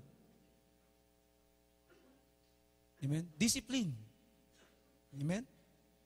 Pero glory to God, mga kapatid. Tinuturuan tayo ng Lord dito, sumunod ng straight sa Lord. Amen? Yung unang-una ko rin pastor, mga kapatid. Yung mag-CCR. Oh, saan pupunta? yes! That's true. Oh! Balik! O sige, mga kapatid, tuloy tayo sa preaching. Ang sabi ng Panginoon, Oh! Kaganon din talaga kayo. Kaya kahit iihi ka na, pastor. Pero ano lang yung mga kapatid, simpleng pagsubok lang yan. Paano na pagsunod sa Lord? Paano na pag-aharap ka na sa mga ibang lahi? Amen. Paano pag gagamitin ka ng Lord? Yung mga ganyang bagay di mo kayang pagtagumpayan. Simple. Amen? Pero sa mundo, di ba, tayo nag-aral tayo, mga nag-aral sa school, di ba? Marami tayong mga trainings. But, but bakit hindi natin apply dito para sa Lord? Amen? simpleng tiisin, kaya natin yan for God's glory. Amen? Na-challenge ba kayo mga kapatid? Ang isang tunay na gawain ng Panginoon, lagi ka na-challenge. Amen? Ang tunay na gawain ng Panginoon, binabago ka niya. Kina-challenge ka lagi ng Lord. Alam niyo, sa bawat gawain dito, na-challenge ako. Every may gawain dito, na-challenge talaga ako. Every time yung sinasabi si Pastor Ariel, itinuturo, na-challenge ako sa kanyang buhay, sa salita ng Diyos na ginagamit sa buhay niya. Amen? Lahat ba tayo ganun, mga kapatid? At kung tinitingnan mo yung challenge ng Lord sa buhay natin, mga kapatid, handa ba tayo mag-response? Amen? Sabi nga rito sa Matthew 10, At pinalapit niya sa kanya ang kanyang mga labindalawang alagad. Ito yung time kung saan tinawag niya yung labindalawang alagad. At binigyan niya sila ng kapamahalaan. Laban sa mga karumaldumal na espiritu. Yun. Pag naging alagad ka ng Panginoon, bibigyan ka ng authority ng Lord. Sino gusto ng authority ng Lord? Maraming Kristiyano, ipapanalangin tayo. Sinasaniban. Sinasaniban? Amen? Kayo-kayo na lang. Yes, that's true. Kung hindi mo kaya, meron ka pang tinatagong kasalanan, kailangan magpalinis ka. You have to accept. Amen? Kasi dangerous yun para sa'yo. Lalo na kung hindi ka nag-prayer and nag-fasting. Amen? Kung hindi ka nag-pray and nag-fasting, danger ko yan. Amen? So God, binigyan sila ng kapamalaan over sa mga masamang espiritu. Bilang Kristiyano, mga kapatid, alam natin yung masamang espiritu. Amen? Sa isang tao, gumagawa ng kasalanan, hindi siya yan. It is the evil spirit na nasa buhay niya. Amen? Kaya ang turo ni Jesus Christ, pag may, nanam, may sumampala sa'yo, ano gagawin mo? Kuha ka ng pala? Harap mo yung kaliwa mo. Pasampal ka ba? Sige, sampalin mo pa ako. Amen? Kasi yung sumampala sa'yo, yung sumampala sa atin, hindi siya yon. May espiritong nasa kanya. Kaya nga sabi, love your enemy. Amen? Sa mga katrabaho natin, talaga naman nakakapikon. O magpapapikon ka. Love them. Amen? Yung unang dating ng isa naming calibration engineer, ang angas! Parang alam lahat! alam lahat! Oh, grabe naman talaga. Talagang taas ng boses. Oh, ah. Talagang, ano, talagang pati ako. Ino, oh, oh, oh, Pinaiiwalay ko. Sabi ko, Brad, um, may lang tayo. Amen? Simula na mga kapatid, nagbago siya. Amen? Talagang, iba siya. Iba na siya. Pero kung ano yun, sinabihan ko na, Brad, bago ka lang dito, maayos ka. Magkakaroon ka ng gap. Ano mga kapatid, we are peacemaker. Amen? Na, kung sa may kaguluhan, tayo yung naging susi ng kapayapaan.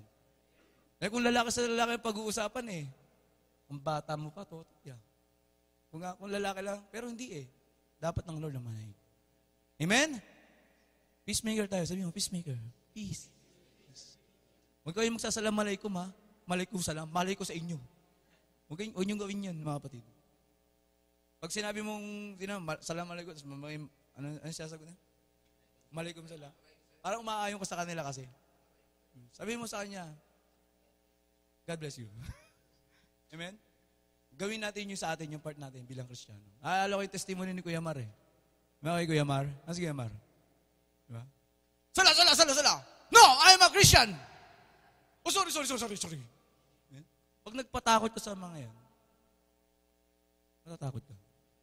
Sila yung magtatagumpay. But when you stand sa faith natin, mga kapatid, may authority tayo. May authority tayo para sa kanila. Amen? Tayo mulagam, igagalang kanila sa paniniwala mo. Kung bakit tayo hindi ginagalang ng iba?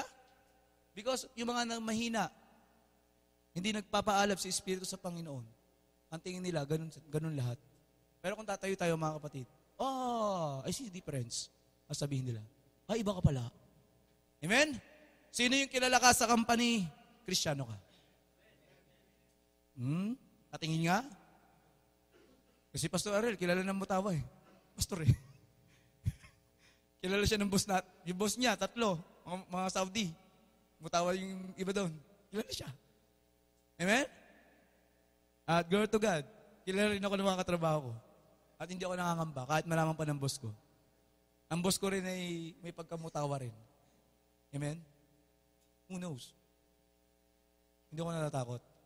Malaman niyang pastor ako, naglilingkod sa Diyos. Glory to God. Amen? Marami sa kanila naglilingkod because of money. Pero tayo, naglilingkod tayo for God's glory. Amen? Hindi si Kuya Manny. Pera. Amen?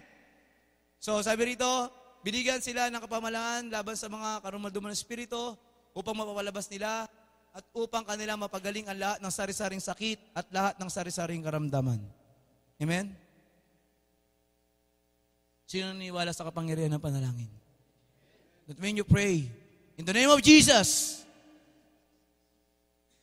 Asagutin ng Lord yun kung sino man yung may, kain, may karamdaman. Amen? Sino nakaranas na nun, mga kapatid? Minanalangin sa iyo sa pangalan ng Panginoon, gumaling ka. Amen? When we stand sa faith, hindi tayo pwedeng daigin ng mga karamdaman. Glory to God, mga kapatid natin dito, talagang malat-malat pero kumakanta pa rin. Amen? Ang kanta pa, Purihin ka, sawi, itataas ang aming tinig. Paus yun, mga kapatid, ha? Minatanghal sa buhay ko. Amen? Paus na paus na yun. Pero umaawit sa Diyos. Kesa naman yung nasa magandang boses, pero nasa, oh, why do you build me Pastor baby? Oh, sa party. Gagaling kumanta.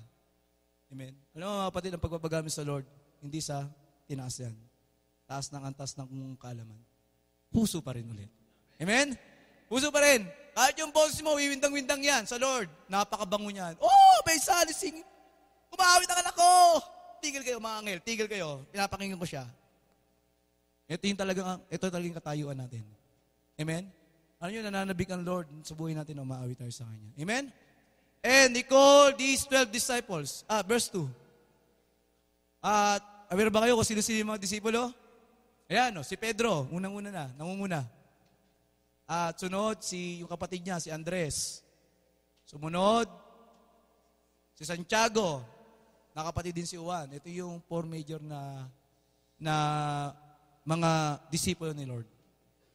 Major. Lahat din naman sila major. Pero sila yung talagang naging part ng New Testament.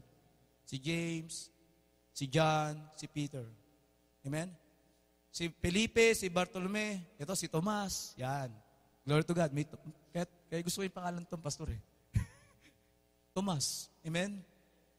Tom. O, di sa, ano, nasa pangalan ng Lord, di ba? Tomas. Hindi si Mang Tomas, ha? At si Mateo, yung maniningil ang buwis, si Santiago, at si Tadeo. Amen? Sa verse 4, si Simon at si Judas. So, yung Simon dyan, dalawa. So, maraming Simon. And verse 5, at ang labing dalawang ito ay sinugoy ni Jesus sa kanya at sila ay pinagbilinan na silang sabi, Eto, huwag kayong magsitungo sa alinmang sa mga daan ng mga hintil at huwag kayong magsipasok sa alinmang bayan ng mga Samaria. Next verse. Kundi bagkos magseparoon kayo sa mga tupang nawawaglit sa bahay ng Israel. So, ang paka ng Lord, i-share ang gospel within His family muna, sa Israel. Huwag muna sa mga hintil. Dito muna sa Israelita. Ipapahayag ang kaharian ng Diyos sa mga Israelita. Kaso, after nung magampanan, nireject ng Israel. Ayaw nila. Ayaw nila ng Misaya. Ayaw nila si Kristo. Sino nagmana? Mga hintil. Amen? Kaya inutos ng Lord, dito muna. Eh ayaw ng mga Israelita. Amen?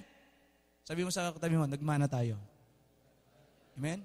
Minana natin ang karya ng Diyos. Verse 7, samantalang kayo naglalakad ay magsipangaral kayo na mga magsasabi, ang kariyan ng langit ay malapit na. Amen? Ba't malapit na nga ba? Para lagi kang may inaasam na nag-aantay ka. Pero totoo, yung kariyan ng Panginoon nasa atin na. Lagi mong inaasam na anytime, babalik ang Lord. Amen? At sabi ito, mga pagaling kayo ng mga sakit, mga pag, uh, mga mga panga, ma, mga pabangon kayo ng mga patay, mga glinis kayo ng mga may ketong, mga palabas kayo ng mga demonyo, tinanggap ninyong walang bayad, ay ibigin ninyong walang walang bayad. Huwag tayong tatanggap ng bayad, mga kapatid. Sa Pilipinas, meron yung, naranasan ko yun eh, nag, naglalakad doon. May apat, isa, dalawa, tatlo, oh, sa likod pa, apat. Kaya ganun ako. Bakit? May nagpipreach. Fourth watch. Hindi kalooban ng Diyos yun. Yes, maganda yung maganda yung bahagi ng salita ng Diyos. Pero do not trade it. Amen? Walang trading. Hindi kailangan ipangalakal ang salita ng Diyos, mga kapatid. Amen? Tinanggap ng walang bayad, pamahagi ng walang bayad. Pinagkatiwala ka ng Lord sa isang gift, gamitin mo. Walang bayad. Salamat sa Lord sa buhay ng mga musician dito. Wala, hindi to mga bayaran. That's true. Marami akong kilala mga musician tutugtog sa malalaking church. Wow. Ooh, 500. Isang tugtog. At hindi lang mga musician. Kahit until now, I think ko, meron pastor. Mga pastor na bayaran. Tumatanggap. May trabaho naman. Yung iba naman, oh, magpapakainit ako. Yes. Gustong gusto kong tatayo dito kasi may matatanggap ako. Mamaya, yes. Mga kapatid, free. Amen? Hindi tayo motivated ng tanggap ng bayad. Amen? Galing kong tumugtog, gagamitin ko. Lalo sa buhay ko, mga kapatid, wala akong gitara, wala akong piano, wala akong drums, wala akong electric guitar, wala rin akong microphone, wala rin akong sound system. Pero yung mga bagay na mga kapatid, tinuruan ako ng Lord. Di gamitin din natin ng libre. Amen? Hindi yung magtuturo ko ng piano, ah, Kuya Ron, tuturuan kita, liga rito. First session, 100 real. Hindi ko na, mga kapatid. Amen? Sino gusto matuto? Ayan, this year, magtatarin tayo ng maraming musicians. Amen? Unti-unti na yan. Ah, maglalaan ako ng panahon para sa musicians. Yung ititrain talaga. Yung talaga may puso. Yung willing to die. Amen? Pag sinabing willing to die, pag tinuruan ka dito, talagang ano, yung, yung, ano yung, ah, papagano ka, masakit talaga. Kasi no pain, no gain. Sa paglilingkod sa Lord, hanggat di ka dumadaan sa, sa suffering, wala kang magigain. No pain, no gain. Amen? Sabi dito, ayan, verse 9, huwag kayong mga, ba, mga ba- baon ng ginto, kahit pilak, kahit tanso sa inyong mga supot. Why? Di-bless ka ng Lord. Alala ko na mga kapatid, doon sa church namin, pag-ahayo ka kasi, o puntahan niyo sa ganitong kapatid. Pag sinabing puntahan, pupuntahan mo talaga. Lakad. Walang pamasahe. Wow! Pupunta kami doon. Bundok-bundok yon GMA Cavite. Wow! Akit ka pa gano'n. Nakanektay ka pa noon, tapos takin, long sleeve. Wow! Yung sapatos mo, umanga nga na eh. Hindi. Eh, may nakabalot ka pa eh. Kaya yung sapatos mo, sumuko, bundok-bundok yun eh. Pagdating mo dun sa bahay, oh kapatid, kamusta ka? Ayun lang pala yung pakay mo doon. Kakamustahin mo lang pala sila. Amen. Naranasan ng kuya ko pumunta rin doon. Bumagyo. Nakikipagpatintero sa mga yerong lumilipad. Magpalop lang. Tapos nang, natawag na nila na kumusta na, para umatin ng gawain, tumawag ngayon yung pastor. Ah, talagang napakalakas na ng bagyo. Hindi natuloy ang gawain ngayon. Hindi na makakarating sila ron. Amen? O, huwag niyo na silang palabasin dahil napakalakas ng bagyo. Pero sila, pumunta na ron. Oo, yaro, yaro, yaro. Amen? Naranasan din namin yan sa Kinati Apple. Yan, sa amin, sa Lakeside. Bumabahan na. Amen? Pumunta ka sa mga kapatiran, ang lampewang na. Oh, ati, ati Dance. Yung tita niya. Ati Dance, kamusta ka dyan? Oh, kamusta dyan? Kakamustahin mo lang. Amen? Ah, kay Ate Marnel, naalala ko noon. Sa accommodation niyo, di ba? Sa college, ng college ka. Napadaan ako doon sa accommodation nila. Naalala ko, yung ilog na katabi ng accommodation nila, ilog kasi eh. Umaapaw pala yun. Eh, yung accommodation nila, nasa first floor pa. Yung first floor, ground floor dito yun, ha? Naalala kong bumab, ano, ah, dumaan sa kanila. Pagdaan ko doon, hindi pa malaki eh. Maya-maya lumaki na, tama-tama. So, akutan kami ni Ate Manel at ni kanyang husband. Amen? At sa paglilingkod sa Panginoon, mga kapatid, marami kang mararanasan. Maliliit, mararamihin ng Lord. Ang importante rito, tinetreasure natin yung bawat karanasan natin sa Lord. Amen? At sabi dito, Kahit supot ng pagkain sa paglalakad. Kahit dalawang tunika. Ano itong tunika? Kahit mga panyapak o tungkod sapagkat ang manggagawa ay karapat-dapat sa kanyang pagkain. Ang naglilingkod sa Lord, hindi nagugutom yan. Pag naglilingkod ko sa Lord, hindi ka pagugutomin ng Lord. Hindi ka pagugutomin. Hindi ka pagugutomin! Umutindi yung kakainin mo, sabi ng Lord. Umutindi yung dadamit mo. Yung kakainin mo, yung inumin mo. Yung titiran mo bukas. Maintindihin mo ngayon sumunod ka sa Lord. The Lord will provide. Amen? Hindi ka pagkakulangan ng Lord. Nandun yung mystery ng sinabi ng Lord na yun. Pag priority mo ang Lord sa buhay mo, habang sinusunod mo siya, hindi ka niya pahabayaan. Amen? At karanasan ko rin, mga kapatid, yes, hayo kami, hayo kami ron. Sabi ko nga, grabe mga kapatid, parang magkakadiabetes ako ha. Kasi lahat ng bahay na pinto ko, puro soft drink eh. Kung di pa, Pepsi. puro, puro ganun eh. Sabi ko, tapos ano, ang tatamis pa ng tinapay. Sabi ko, ang tamis na nga ng soft drink, ang tamis pa ng tinapay. Misa naman, ah, ano, pansit, palabo, ah, minsan spaghetti. Pero mga kapatid, hindi ko, motiv, hindi ko motibo yon. Ang manner ko doon, ang matter ko doon, puntahan sila. Bonus na lang yun. Amen? Minsan naman, pagpunta mo, malaking handaan, birthday. Lord, may papalo pa ako isa, kaso busog ako. Naranasan ko yan mga kapatid. Amen? Pero darating ng panahon, meron kang pupuntahang lugar. Ito yung naranasan ko mga kapatid. Pumunta ka sa isang lugar na tai-tai, pandiri. Pupunta mo doon mga taong walang pag-asa. May dala-dala kang sukot. Ginagawa mo nang walang nakakita yun, ha? Ginagawa mo secretly. Aabotan mo siya. Pipray mo siya. Pagka mawala ng pag-asa, dinala ako ng Panginoon dito para patugunan ang pangangailangan mo sa araw na to. Amen? Huwag tayo maging selfish, mga kapatid. Amen? Pero, bago nyo gawin yun sa kanila, mamaya, babasahin din dito sa verse, sa dulo niyan. Mamaya, susunod ko yan.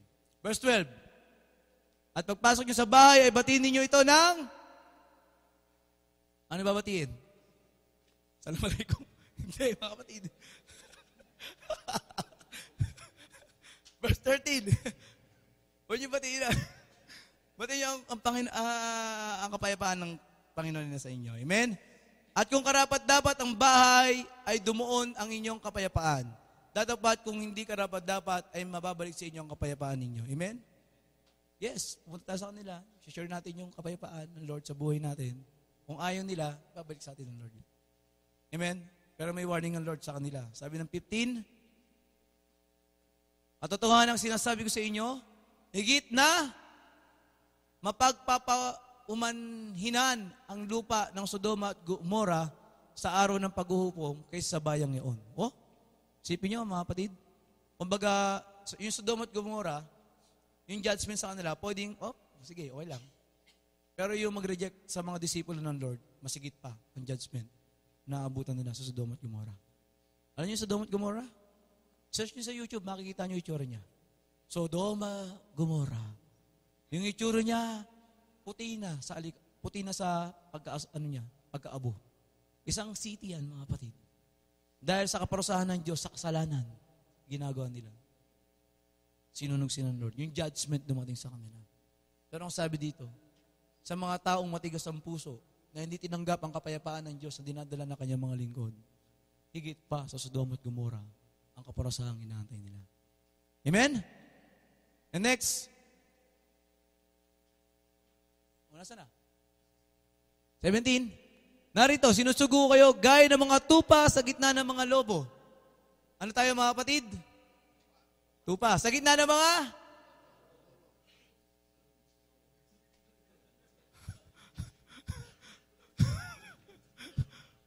Pag tupa ka, baluns yung kalaban mo, isang click, putok yun.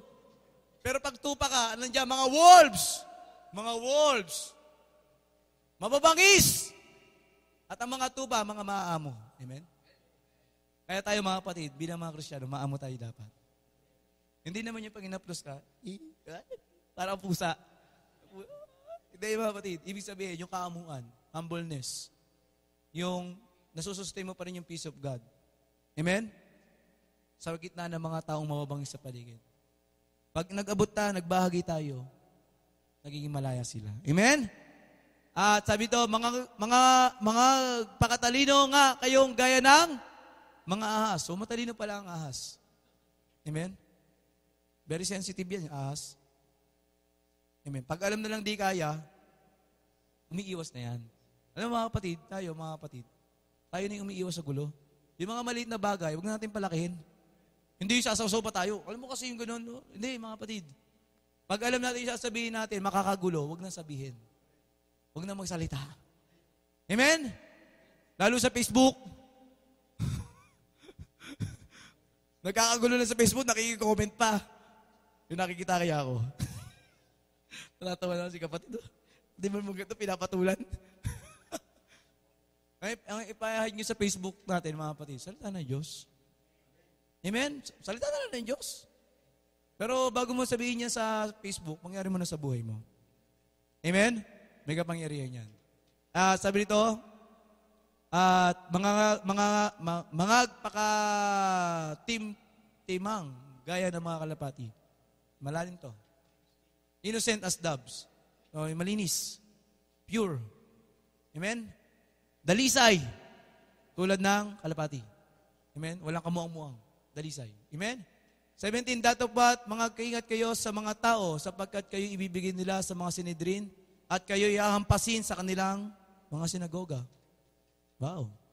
Pag sumunod ka sa Lord. Sama to, package to ha.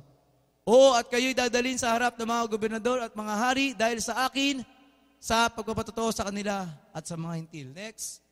Datapwat, pagka kayo ibinigay nila, huwag ninyong ikabalisa kung paano o kung ano ang inyong sasabihin, sapagkat sa oras na yon ay pagkakalob sa inyo ang inyong sasabihin. Amen? Hindi tayo pagkukulangan ng Lord. Yes, hindi tayo. Marami magagalit sa atin. Nagagalit sila kasi kapatid, oh. Hahadlang ang kanila. Isusumbong ka sa mutir. Sim- oh, umatin sila ng church, oh. Umatin sila ng ano. Hahadlang ang kanila. Parang sabi ng Lord, huwag kayong mabalisa. Umatin ng church, huwag kayong mabalisa. Pagkaharap mo sila, tutulungan ka ng Lord. Hindi mo alam sasabihin mo? Pag nandun ka na, tutulungan ka ng Lord. Sasabihin niya kung ano dapat sabihin. Amen? Sino nakaranas? Amen. Verse 20, sapagkat hindi kayo ang magsasalita, kundi ang Espiritu ng inyong Ama at ang inyo, ang sa inyo'y magsasalita. So meron tayong Holy Spirit na magsasalita sa atin. Amen. Magkakaroon tayo ng wisdom. Amen? Sa lahat ng pagkakataon. Amen? 21, at ibibigay ng kapatid, ang kapatid sa kamatayan, at ng ama ang kanyang anak, at maghimagsik ang mga anak laban sa kanilang mga magulang, at sila ipapatay.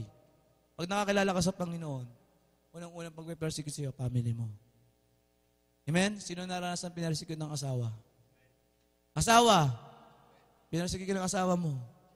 Kaya mapalad ka kung paras na kayong kristyano mag-asawa. Amen?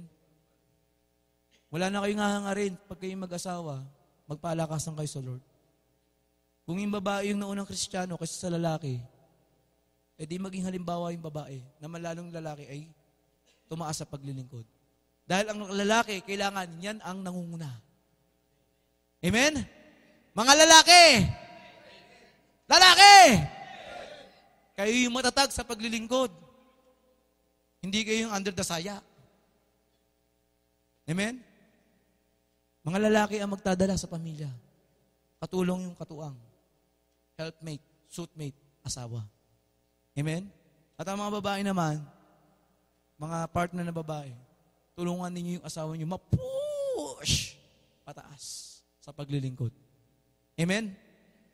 Malaki ang kinalaman ng partner sa ikalalago ng uh, head of the family. Amen? Kaya nga dito, magkakalaban-laban. Pami, family. Family, family. Amen? Hindi ka na maunawaan. At kayo kapabotan ng lahat ng tao dahil sa aking pangalan. Amen? Pansinin niyo mga kapatid, sa lahat ng relihiyon nagsasabi, maraming galit kay Jesus Christ. Sa Christian lang. Napansin niyo? Sa lahat ng relihiyon, Christian lang ang talagang maraming galit. Especially Muslim. Amen? Sa lahat ng history ng buong mundong to, mga kapatid, history of mankind, sa pangalan ni Kristo, maraming pinatay. Amen? Hindi sa pangalan ko sino-sino, sa pangalan ni Kristo. Amen? Sa China nga lang, milyon-milyon ang pinapatay ng Kristiyano eh. Amen? At darating pa yan, susunod na pong panahon. Ito na yung ISIS, di ba? Dahil pinatay ng Kristiyano. Pero the more nila ginagawa yon mga kapatid, doon sila namumulat. Nagte-turn back sila sa Lord. Amen? Kaya marami mga Muslim, nakukompuse na. Nagtitwist na yung mind, nagiging Kristiyano na. Amen? Kasi, pag ang isang Kristiyano, hindi ka namatay sa iyong sarili, ang nais ng Lord sa buhay natin, matulad tayo sa isang buto na, na kailangan mamatay, pag nahulog sa lupa, may tatanim ka, lalago ka. Amen? Pag hindi ka namatay sa iyong sarili, hindi ka magbubunga. Anong sabi doon sa fig tree? Dapat putulin. Kasi, nakakasikip lang. Dito mga kapatid, walang pampasikip dito. Amen? I know, meron malalaki katawan dito, pero hindi pa rin yung nakakasikip. Amen? Amen? Walang pampasikip dito mga kapatid. Lahat tayo nagbubunga. Amen? At, nasa na tayo? 23, Datapat, pagka kayo pinag-usig nila sa isang bayang ito ay magsitakas kayo tungo sa kasunod na bayan. Sapagkat sa katotohanan ng sinasabi ko sa inyo, hindi nyo matatapos libutin ang bayan ng Israel hanggang sa pumarito ang anak ng tao. Verse 24, Hindi mataas ang alagad sa kanyang guro, ni hindi rin mataas ang alila sa kanyang Panginoon. So mga kapatid, in-emphasize ng Lord na, kung ang Lord nga nag-suffering eh, tayo pa kaya? Amen? Kung ang Lord dumaan sa maraming suffering, even us, dadaan tayo. And isang katotohanan mga kapatid, kung si Jesus Christ namatay sa pagsunod sa Diyos, sa kanyang Ama, sa ating Ama, mamamatay din tayo sumusunod sa Lord. O ba't konti na lang? konti na lang eh. At kamatayan na yan eh. Ang tuloy na kristyano mga kapatid, hindi ka natakot mamatay.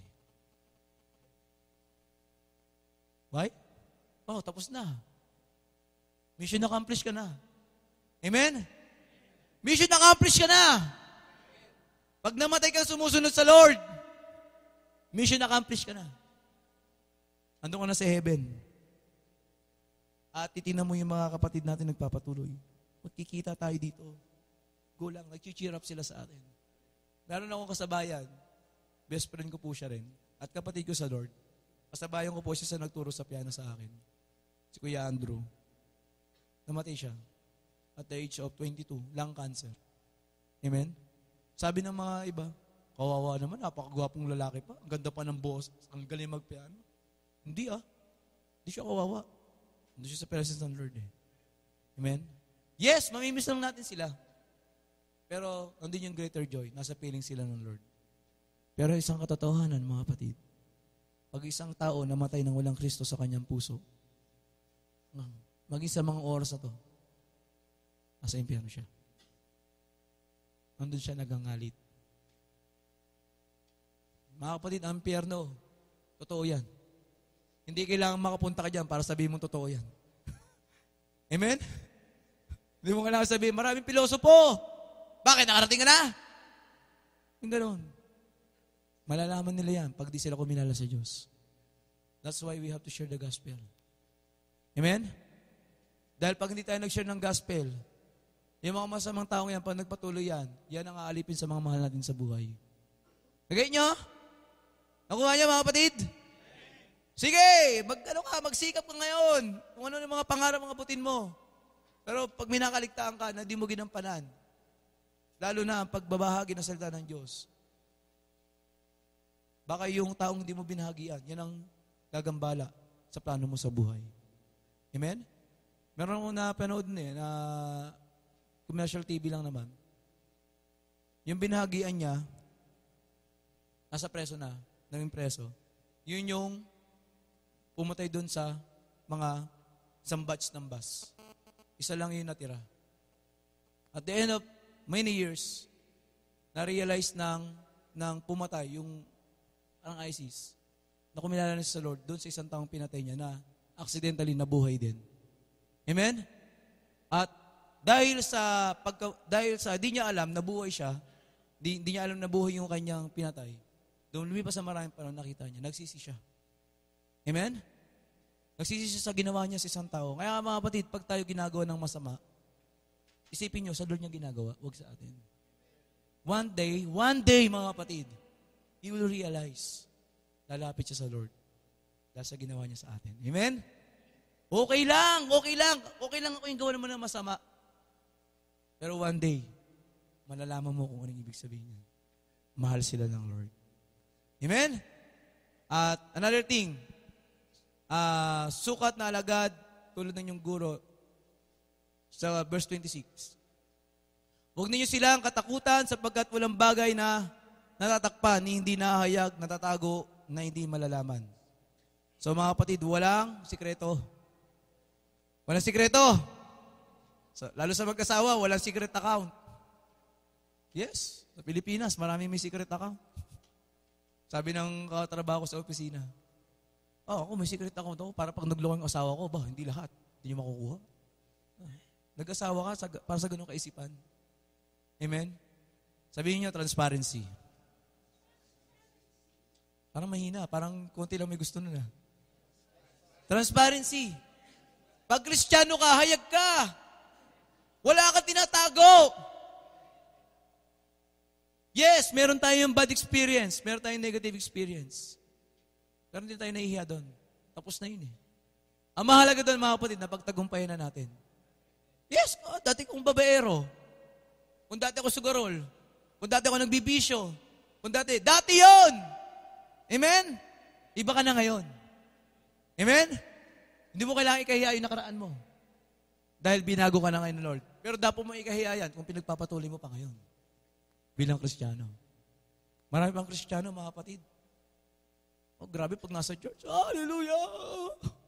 Paglabas, tumataya sa loto, nakapito. Loto?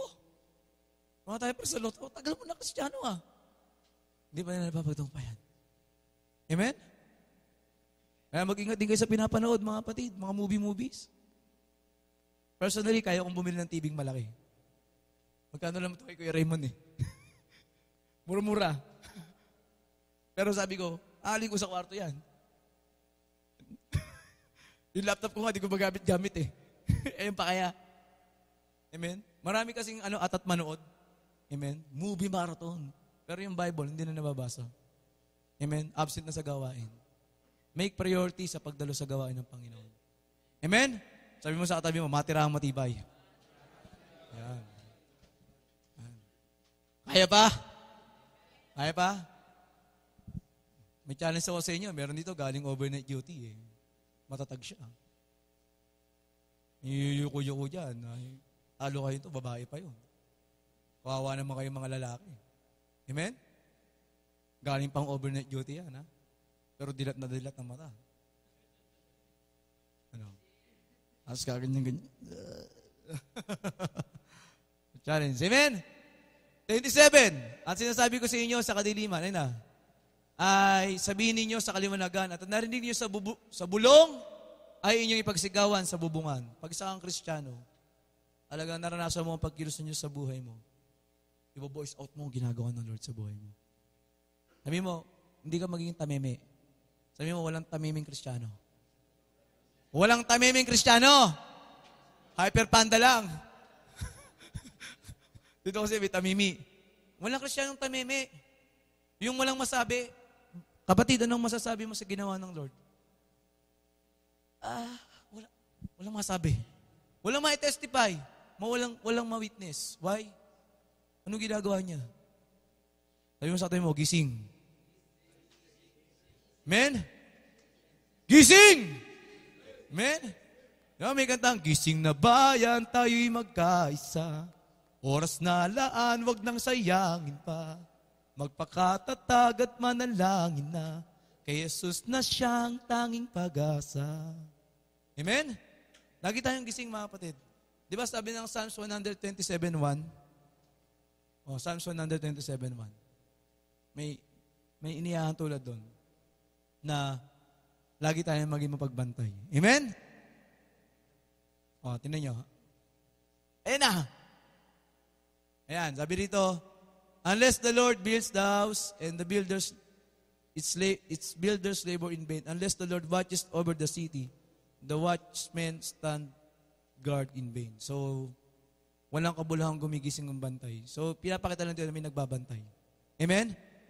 Unless na ang Lord ang hindi magbantay, sa isang binabantay ng isang tagapagbantay, akala ng lahat, ay yung mga kapatid, nagsusustain eh. Akala natin tayo. Pero beyond sa pagsusustain natin, merong much greater na nagsusustain sa atin. Amen? Akala na natin tayo lang eh. Amen? So another thing, sa Matthew 10, 28. Ito pa. This is a big challenge sa buhay natin.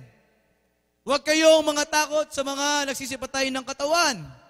Datapat hindi nakakapatay sa kaluluwa, kundi pagkus ang katakutan ninyo, yaong makakapuksa sa kaluluwa at sa katawan sa impyerno. Amen? Manawaan niyo salita ng Diyos? Maraming takot mamatay, takot magutom, takot mawalan ng trabaho, takot mawalan ng malaki salary, takot mawalan ng girlfriend, takot mawalan ng boyfriend. Maraming, kata- maraming kinatakutan. Pero sabi ng Lord, huwag niyong katakutan yan. Ang mas katakutan nyo ay yaong makakapuksa ng kaluluwa at sa katawan sa impyerno. Ibig sabihin yan, katakutan natin yung mag, kayang magbigay ng judgment sa isang tao na magdala sa impyerno, kundi ang Diyos. Amen? Sila, ang kaya nilang patayin sa atin, katawan lang natin. Mga ari-arian natin, kung meron tayo. Pero yung buhay natin, hindi nila kayang agawin sa Lord. Amen? And the last, last na ba to? Hindi baga ipinagbibili ng isang beses ang dalawang maya?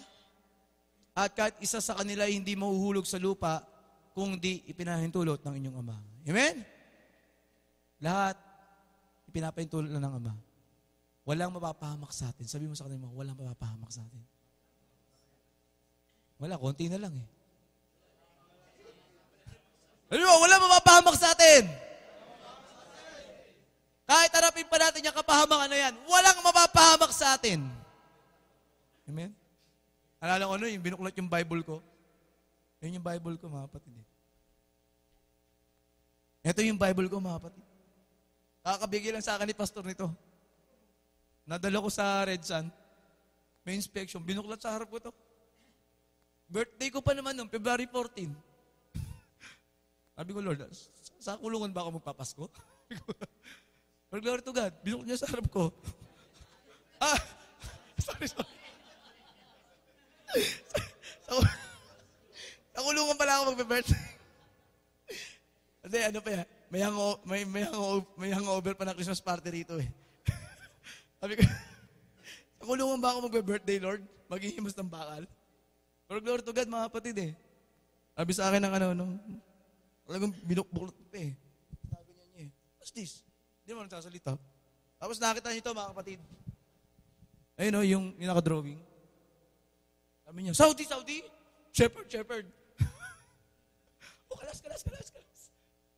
Oh, may wisdom ang Lord, di ba? Amen? Amen? May wisdom ang Lord. Sabi niya, Saudi, Saudi, shepherd, shepherd, shepherd. Kalas. Amen? Eh, time na yun, meron tong makakaunawa niyan eh. Pero glory to God, wala tayong kinakatakutan. Kahit mahuli pa nila ang Biblia yan. Amen? Hindi ako mabayan ng Lord. Amen? Datapat maging ang mga buhok ng inyong ulo ay pawang bilang ng lahat. Bilang ng Lord, lahat ng buhok. Lahat ng buhok! Bibilang ni Lord yan. Pati, bilang ng Lord yan. Lahat ng details ng buhay natin, alam ng Lord. Walang bagay na hindi alam ng Lord sa buhay natin. Even yung mga nakaraan natin, alam ng Lord yan. Amen? And another thing is, oh, next mo na. Ay, hindi, balik mo sa 31. Mas mahalaga tayo sa Maya, sabi ng Lord. I know. Minsan nyo lang nababasa to. Samantalahin nyo na pinag-uusapan natin sa salitang to. Amen? Sabi ng Lord dito, huwag kayong mga takot. Kayong lalong mahalaga kaysa maraming maya. Amen? Sabi mo, mas mahalaga ka pa sa ibon. Amen. Mas, ma- mas mahalaga tayo sa ibon. Hindi tayo pababayaan ng Lord. Di ba? Tignan niyo yung mga ibon dyan. May ibon ba dito? Oh, dito sa harap natin, di puro ipot yung sasakyan eh. Di ba yung mga ibon dyan? Di, di naman natatrabaho yan ah. Pero ano, dinadamitan ng Lord. Ano pa? Binabahayan sila ng Lord. Pinoproteksyon ng Lord. Sabi mo sa katabi mo, ikaw pa kaya? Amen. Ikaw pa kaya? Tayo pa kaya? Amen? Next, 32. Himayin-himayin natin, mga kapatid. Mamaya, kakain tayo ng masarap. Pero mas masarap to. Amen. Kaya't ang bawat kumikilala sa akin sa harap ng mga tao ay kikilalanin ko naman siya sa harap ng aking amang nasa langit. Pag kinilala mo ang Panginoon sa harapan ng tao, kikilalanin ka sa langit. Beware. Remind people. Remind Pilipino. Yung mga nagpapakonvert. Bago sila magpa-convert, magpagamit na tayo. Amen? Pag nagpa-convert yan, anong gagawin yan? Susumpa yan. Tatakwil na si Jesus Christ. Kikilala na sila ng Diyos. Mahabag tayo sa kanila. Why? Ang kanilang mga kamay, ang, ang kanilang mga pangalan ay mawawala sa aklat ng buhay. Amen? Hindi malilista. Sino rito yung kanyang pangalan ay nakalista sa aklat ng buhay? Gusto kong makita yung kamay. 100%? Parang yung iba, hindi ah. Anong susi?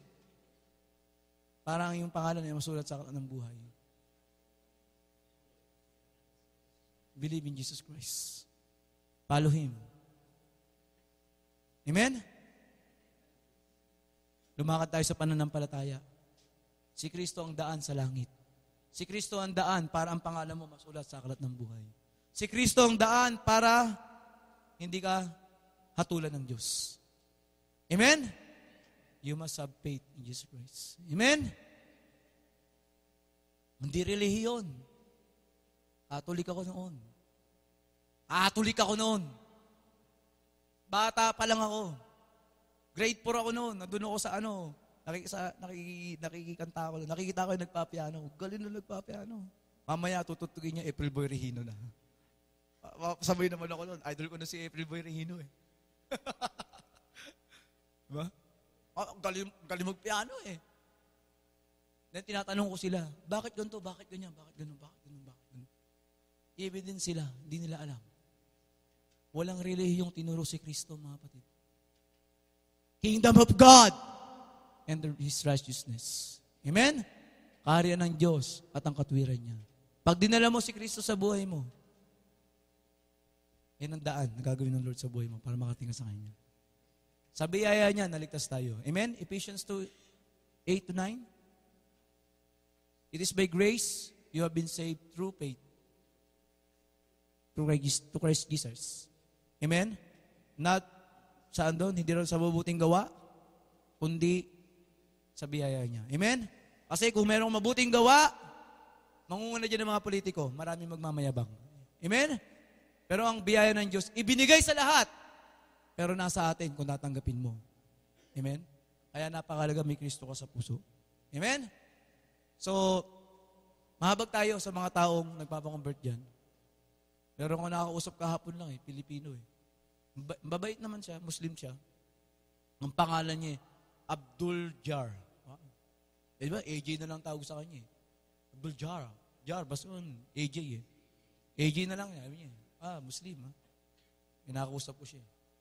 Ah, naniniwala ka ba si Kristo ay Messiah? Oo, anointed one siya. Anointed one. Eh di Messiah nga. Naniniwala ka tagapagligtas siya. Hindi niya masabi. Basta, anointed one siya.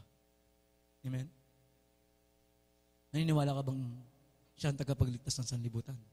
Muslim yung binabagayan ko mga kapatid. Pilipino. Pumunta lang sa opisina namin. Amen.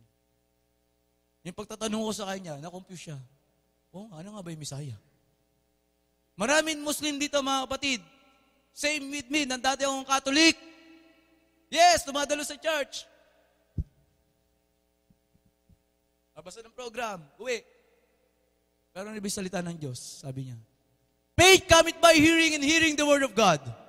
Ang pananampalataya ay nakukuha sa pakikinig ng salita ng Diyos. Magkakaroon ka na ng pananampalataya sa Diyos kapag alam mo ang kanyang salita. Pero pag relihiyon, ang pinumpronta mo sa judgment, hindi ka natanggapin. Amen? Salita niya. Amen? Maraming ano, basta ako, hindi ako nakakaapak, gumagawa ako ng mabuti. Basta ako wala akong ano, ina, ano, ina, anong mga tao. Mabuting tao ako. Sabi mo lang yan. Walang mabuti. Diyos lang. Amen? Ang inaahan ng Lord, mapagkumbaba. Handang humingi ng tawad sa Diyos. Amen? Marami. Dito na ako sinilang, dito na ako mamamatay. Amen? Mamamatay kang kasama niya pag di mo tinalikuran yan. Pero pag nakay Kristo ka, mabubuhay kang muli. Amen? Pag tinanggap mo si Kristo, di ka na mamamatay. Ang kamatayan to, mga kapatid, hindi physical. Kasi maraming mamamatay, mamamatay na walang hanggang pagkalayo sa Diyos sa kaparusahan. Amen? Amen. So, verse 33, 34. O, konti na lang, mga kapatid. Alam mo, hanggang verse 42 lang to. 8 verse na lang. Andiyan pa kayo? Mabuhay pa. Sige, 15 minutes more. Matatapos din ako. Huwag din yung isipin kayo'y naparito upang magdala ng kapayapaan sa lupa. Hin- Hindi ako naparito upang magdala ng kapayapaan, kundi tabak. Amen? Yung tabak, salita ng Diyos, sa the sword of Spirit. Itong tabak na to, mga kapatid, itong salita ng Diyos na to, pag ito'y narinig mo, masakit.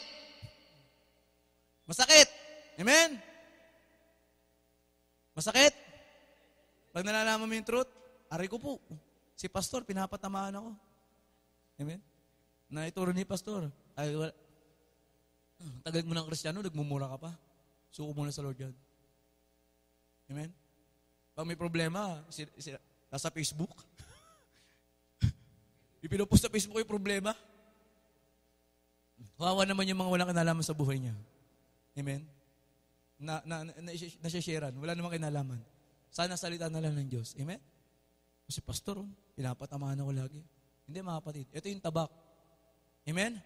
Kung saan kailangan sumunod ka sa Lord. Amen? 35, sapagkat ako'y naparito upang papagalitin ang lalaki laban sa kanyang ama, at ang anak laban sa mga kanyang ina, at ang manugang na babae laban sa kanyang biyanang babae. Ibig dito mga kapatid, ang naulawaan ko dito, dahil pag nakakilala ka sa Lord, kaya mo silang talikuran para sa Lord. Pag sumunod ka sa Lord, time will come, makakasama mo sila. Amen? Amen? Yes, sa totoo lang. Even my parents, nang ako'y nagpasimula sa Panginoon, sinasabihan ako, nagsasayang ka lang ng oras dyan. Maglaba ka na lang dito. Yes, maglalaba ako. Sabado. Amen? Sabado ako maglalaba. Amen? Hindi linggo. Sa'yo na pamasahe dyan. Nag-iipon ako. May pamasahe ako. Magugutom ka lang dyan. May pagkain doon. Mapupuyat ka dyan. May tulugan doon. Lagi kang may dahilan para sumunod sa Lord. Amen? Hindi yung wala kang dahilan para ayaw mo sumunod sa Lord. Amen? Dito sa Saudi, wala akong pamasahe. May transport ministry. Wala akong tulugan. Maraming kwarto. Kahit mga family dito, open ang aming kwarto. Eh, bachelor ka. Bukas ang room namin. Tulog ka. Masarap matulog sa amin. Nakakita ko sa Kuya Jay, alas 9, nakaganap yan. Nakakakape. Kuya, Kuya John, nagisingin mo na. Amen? Wala akong makakain. Dito, dalawa pagkain, spiritual, at saka niluto ng food ministry. Amen? Ang kailangan lang dito, handa kang magsakripisyo. Amen? Sabi mo sa atin mo, matira matibay. Amen? At 36, at magiging kaawin ng tao ang kanyang sariling kasambahay. Amen. Maraming munawa sa atin. Pati kapitbahay, mga kapatid, madadama yan. One day, one time pala, sa, sa amin, yung kapitbahay namin, mga kapitbahay namin sa church sa Pilipinas. Yung bahay ko po, mga kapatid, na kinuha ko sa pag-ibig, ginawa ko pong simbahan. At in-endorse ko na po yun sa kapatid ko. Yung mga nakapaligid sa amin, mga kapatid, nagpetisyon yun, pinapasara kami. Sabi ko, tumututog lang naman kami. Tuwing Sunday lang naman. Nagpa-practice ng Sabado, di naman malakas. Eh sila nga nagbibidyo okay, magdamag. Tapos sila nagpapasugalan sa labas. Tapos kami pinitisyon. Tapos ang nagpetisyon sa amin, mga kapatid, dating Christian. Kapit katabi ko sa kaliwa. Yung nasa kanan ko, militar. Hinamon ako ng suntukan. Lumabas ka dyan, suntukan tayo! Sabi sa akin ng matanda. Eh, tat- pag nalaman ng tatay, sundalo din yung tatay ko. Dati sundalo. Peace, peacemaker lang tayo. Sabi ko Sabi ko, tay, sige po, matulong na tayo. Sabi ko na lang. Amen? Maraming hindi makakaunawa sa iyo. Hinabla kami. Punta si Pastor Mike doon, yung kuya ko sa homeowner. Pinapasara kami. Sabi naman ng homeowner, alam niyo, nalulungkot ako dahil gawain niya ng Diyos eh. Actually, marami kayo natutulungan eh. Yung mga taong ano, ligaw, mga kabataan dito, nandiyan sa inyo ngayon. Naglilingkod sa Lord. Bakit kayo pinipitisyon ng mga to? Sige, ganito na lang. Mapagkasundo tayo. Amen? Tanggalin ang drums. O, pinalitan namin electric. Amen? Electric drum set. Hanggang ngayon, tuloy-tuloy pa rin gawain. Mga kapatid, yung dalawang mga kapitbahay ko, yung isa, yung matanda na, yung matanda na, na nagamon sa akin, yung matanda, yung may-ari nun, mga kapatid, ibinenta po sa amin yung rights. Nasa akin na po. Amen? Kinanker po natin sila. Ayaw nilang kumilala, sila ang umalis. Ano ginawa? Ibinenta sa amin. O, di amin na yung bahay mo ngayon. Amen? Ngayon, ini-extend na yung gawain ng Panginoon. Yung nasa kabila, I hope mag-repent siya sa Lord. Magbalik loob siya sa Lord. Amen? Dati siyang kristyano eh. Amen? Kaya walang kristyanong iahabla mo yung kapwa kristyano, mga kapatid. Hanggat maaari, huwag tayo maghahabla ng tao. Forgive them. Amen? Forgive them. Amen? At ano pa? 37, ang umiibig sa ama o sa ina ng higit kaysa sa Lord ay hindi karapat dapat sa akin. Amen? At ang umiibig sa anak na lalaki o anak na babae ng higit sa kanya o sa Panginoon ay hindi karapat dapat sa Panginoon. Kaya, number two lang ang asawa. Sabi mo sa katabi mo, number two lang ang husband mo. Ang wife mo. Amen? Number two lang. Number one si Lord. Di ba? Meron akong ini-invite eh. Hindi, si, ano, si Mrs. kasi. Kailangan ko i-chat dahil pag hindi ko chinat ngayon yun, yari. Sa linggong tampuhan yan. Hindi. Unahin mo si Lord. Sino naka-experience yan dito? Especially yung mga tatay. Pero ngayon, di ba? Ngayon, sila pa yung natutulak. Sige, mauna ka na sa gawain. Sige na. Pagtapos mong umatin, i-share mo sa akin. O, di ba? Amen! Yun na mo yung Lord eh. At ang hindi nagpapasa ng kanyang krus at sumunod sa akin, ay hindi karapat dapat. Ano mga kapatid, pag naging kristyano ka, handa kang i-carry ang krus. Amen? Sino nakapanood sa YouTube yung ano? Yung krus? Kanya-kanyang krus eh. Wow! Yung isa, may dalang nagari. Habang nagpo-prosesyon, napagod. Bigat naman ang krus ko. Alagari yan, no? ah, nabawasan ng konti. Ah, bawasan ng konti. Sige, lagari. Ah, yan, nabawasan. Na, tumatagal na. Ah, bumibigat na, nakakali na. Lagari. Nabawasan, yes. Magagaan na. Aba, yung krus niya, naging letter Y na. Pagdating pala sa dulo, yung krus na dala niya, ayun pala yung tuloy na gagamitin. Bitin yung ano niya. Amen? Walang shortcut, mga pati. Walang shortcut. Walang shortcut sa pagsunod sa Lord. Marami kang titiisin dito. Amen? Yung pag-upo niya, tinitiis niyo na nga yun. Eh. Gutom na ako. Sino nagugutom?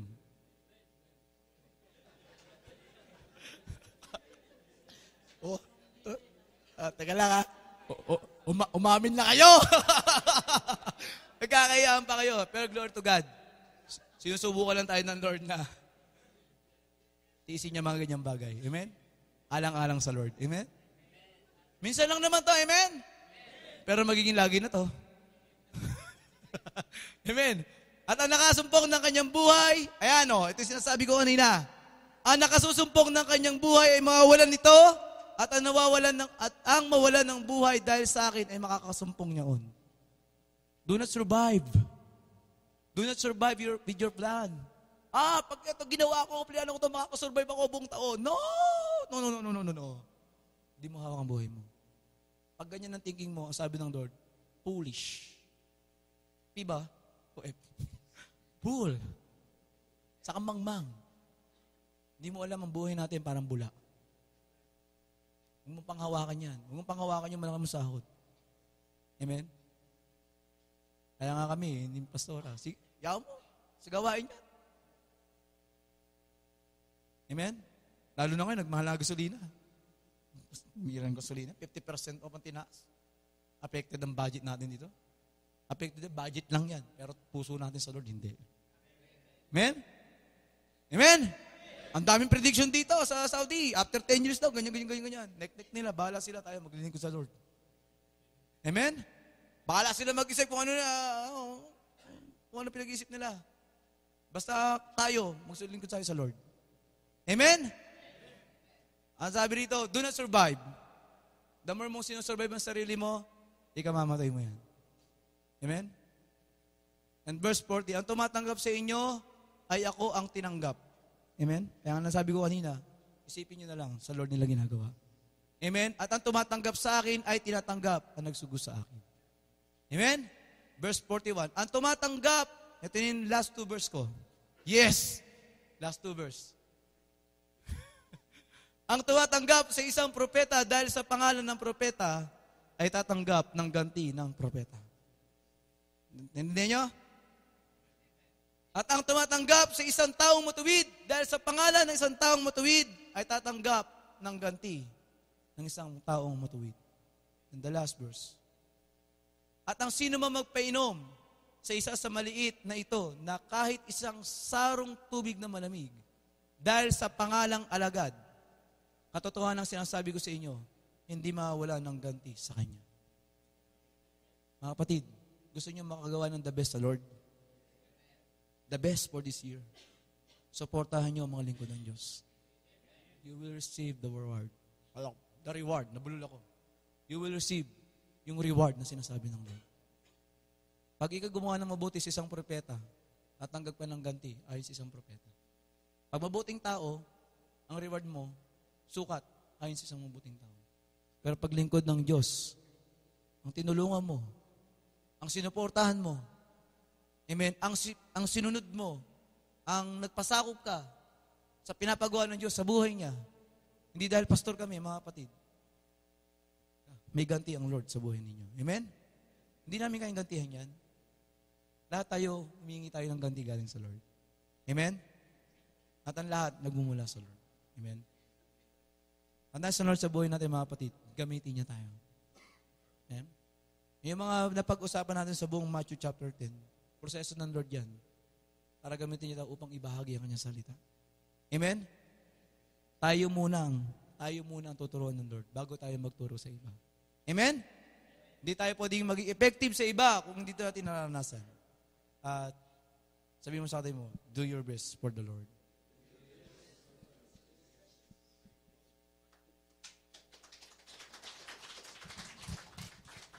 Another two hours. Glory to God.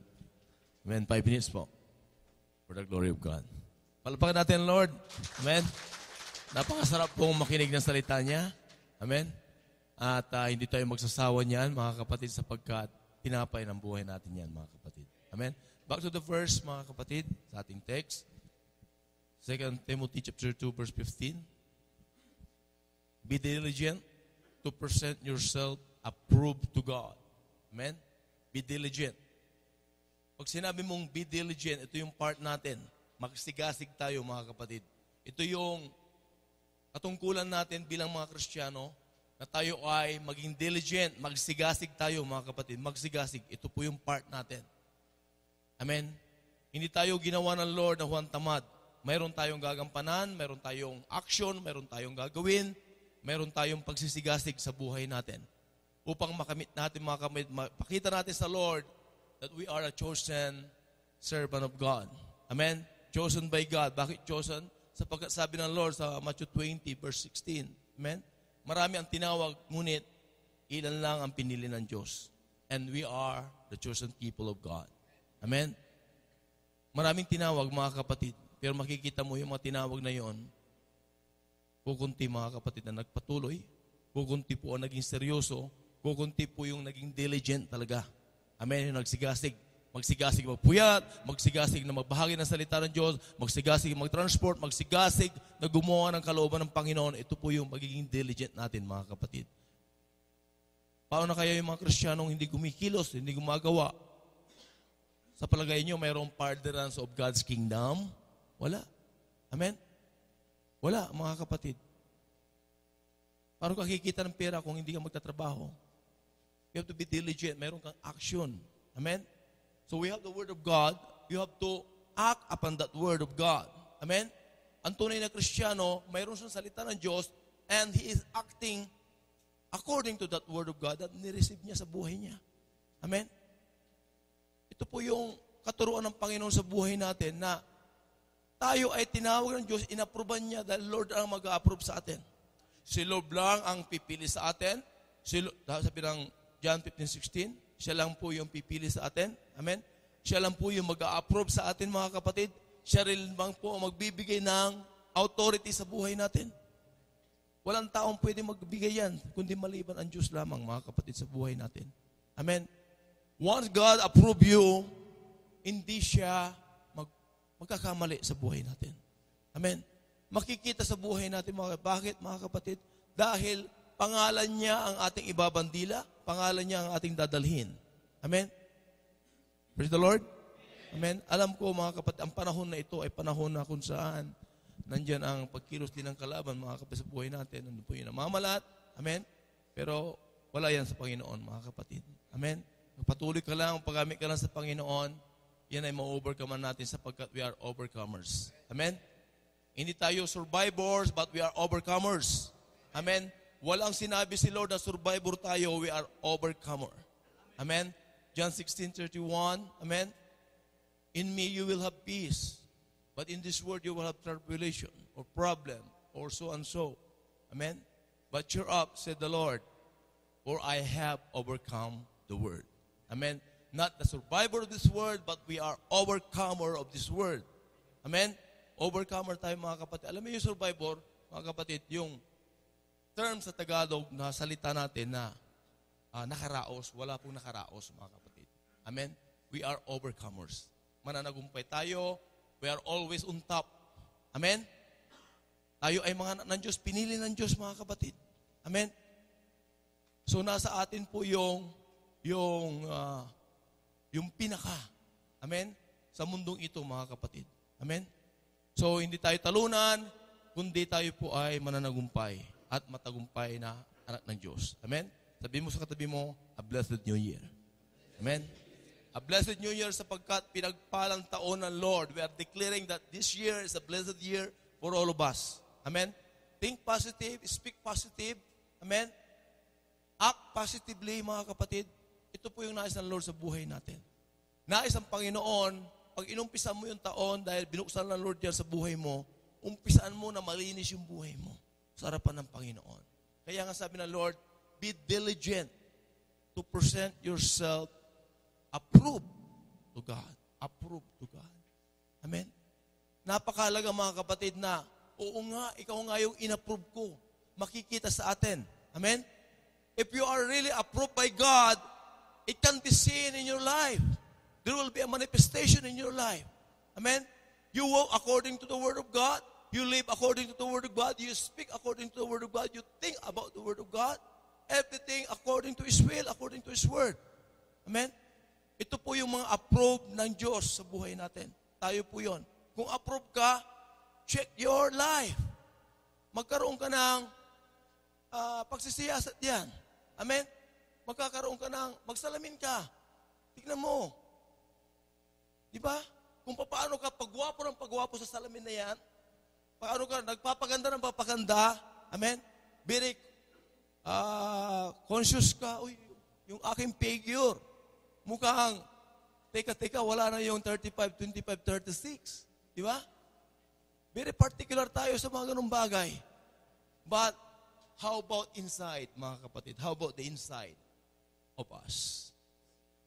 Because yung inside of us, sabi ng 1 Samuel 7 to 16, ito yung tinitignan ng Lord sa buhay natin. Amen? Yung inside of you, yun ang tinitignan ng Lord. Amen? The inner part of your life, yun po yung after ng Lord sa buhay natin. Amen? Yun po yung tinitignan niya sa buhay natin. Not your physical appearance. Amen? Once inside is okay to the Lord, then outside will be also okay. Amen? Bakit? Kasi magsashine yan, magre-reflect yan.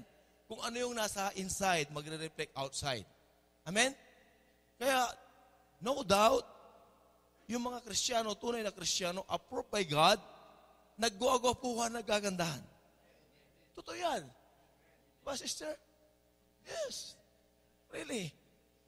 See? Gandang-ganda mo. Praise the Lord. Amen? And this year, mga kapatid, kagaya ng sinasabi ng Lord, be diligent to present yourself approved to God. Magpalinis tayo kay Lord. Amen? Nabasa natin kanina yung Philippians 3, 13 to 14, mga kapatid. Amen? Set aside.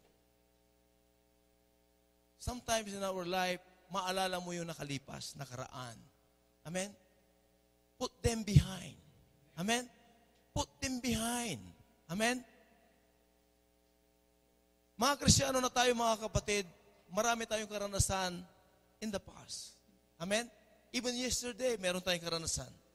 Even last week, even last month, even last year, mga kapatid. Marami yan. Amen? Kung sasaysayin natin at iisaysayin natin, but hindi po after si Lord tabakay na yan, mga kapatid. Good things, okay, carry on. Bad things, bad experience, put them behind. Amen? Put them behind. Yung sabi ng Lord dyan na forgetting those things which are behind, mga kapatid, we are letting them aside. Amen? Hindi yan magiging burden sa buhay natin. Amen? Sabi mo sa katabi mo, move on. Amen? Move on. Move forward. Amen? Don't move backward or don't be idle. Amen? Kailangan nagmumubon tayo mga kapatid. Huwag po tayong pahawakan ng mga mga bagay na nakaraan sa buhay natin. Amen? And mayroon pong good news si Lord sa buhay natin. Paano natin mapapagtagumpayan yon? Handa ka na sa good news, sabi mo sa katabi mo. Amen? The good news, my dear brothers and sisters, you cannot forget your past. Kahit anong gawin mo. Hindi mo makakalimutan nyo. Kung, kung tatanungin nyo, I can recollect my past since my two years old. Pwede kong ikwento sa inyo. Ang naging kalukuhan ko that time. Amen? Pero glory to God, we are now Christian. We have been forgiven by the Lord because of the cross. Amen? Because the shedding of His blood, we have been cleansed. Amen? And now we are the reflection of the Lord Jesus. Amen? Our life is already approved by God. How? When the Lord has forgiven us by His death, that kind of forgiveness, mga kapatid, ay naman na natin. Amen? Tayo din, mga kapatid, ay magkakaroon ng genuine forgiveness. That's the only way to clear up everything in our life. Amen? If you remember the past, glory to God. Thank you, Lord, because I have forgiven Him. Amen? Hanggat hindi mo napapatawad yan ng totoo, mga kapatid, pag na-recall mo yan, naalala mo, sometimes napapanaginipan mo, sometimes nakikita mo, sometimes na ikikwento ng tao, sometimes natatouch ng tao yung mga topic na gano'n, na-hurt ka because wala ka pang genuine forgiveness. Amen? Pero nais ng Lord, mga kapatid, at this start of this year, nais niyang magpakaroon tayo ng genuine forgiveness para ma-clear up lahat niya sa buhay natin. Amen? Hanggat hindi nangyayari ang mga kapatid, mahirap tayong lumago. Mahirap tayong magkaroon talaga ng daloy na favor ng Lord sa buhay natin. Amen? Bakit? May hadra lang. Amen? May kabigatan. Mayroong excess baggage na kinakari natin, mga kapatid. Amen? Ayaw ng Lord na nahihirapan tayo. Amen? Actually, it is not His will na mayroon tayong problema. It is not His will na mayroon tayong excess baggage sa buhay natin. Hindi kalooban ng Panginoon yan. Ang kalooban ng Panginoon, lumalakad tayo ng magaan yung buhay. Amen? Yung mga problema na dadaanan natin o marahil ay nararanasan natin, agad-agad nating ibinibigay sa Panginoon. Amen? At ito po yung design ng Lord sa buhay natin. Once na ikaw, gagaya ng Lord, nung siya ay nagpatawad ng totoo sa buhay natin, tayo rin ay totoong nariyan na pinili ng Panginoon. Amen? Kaya makikita mo yung tumanggap ng totoong pagpapatawad ng Panginoon nandito. Totoong Kristiyano, nagpapatuloy, nagpapagamit. Sumusunod sa Lord. Amen?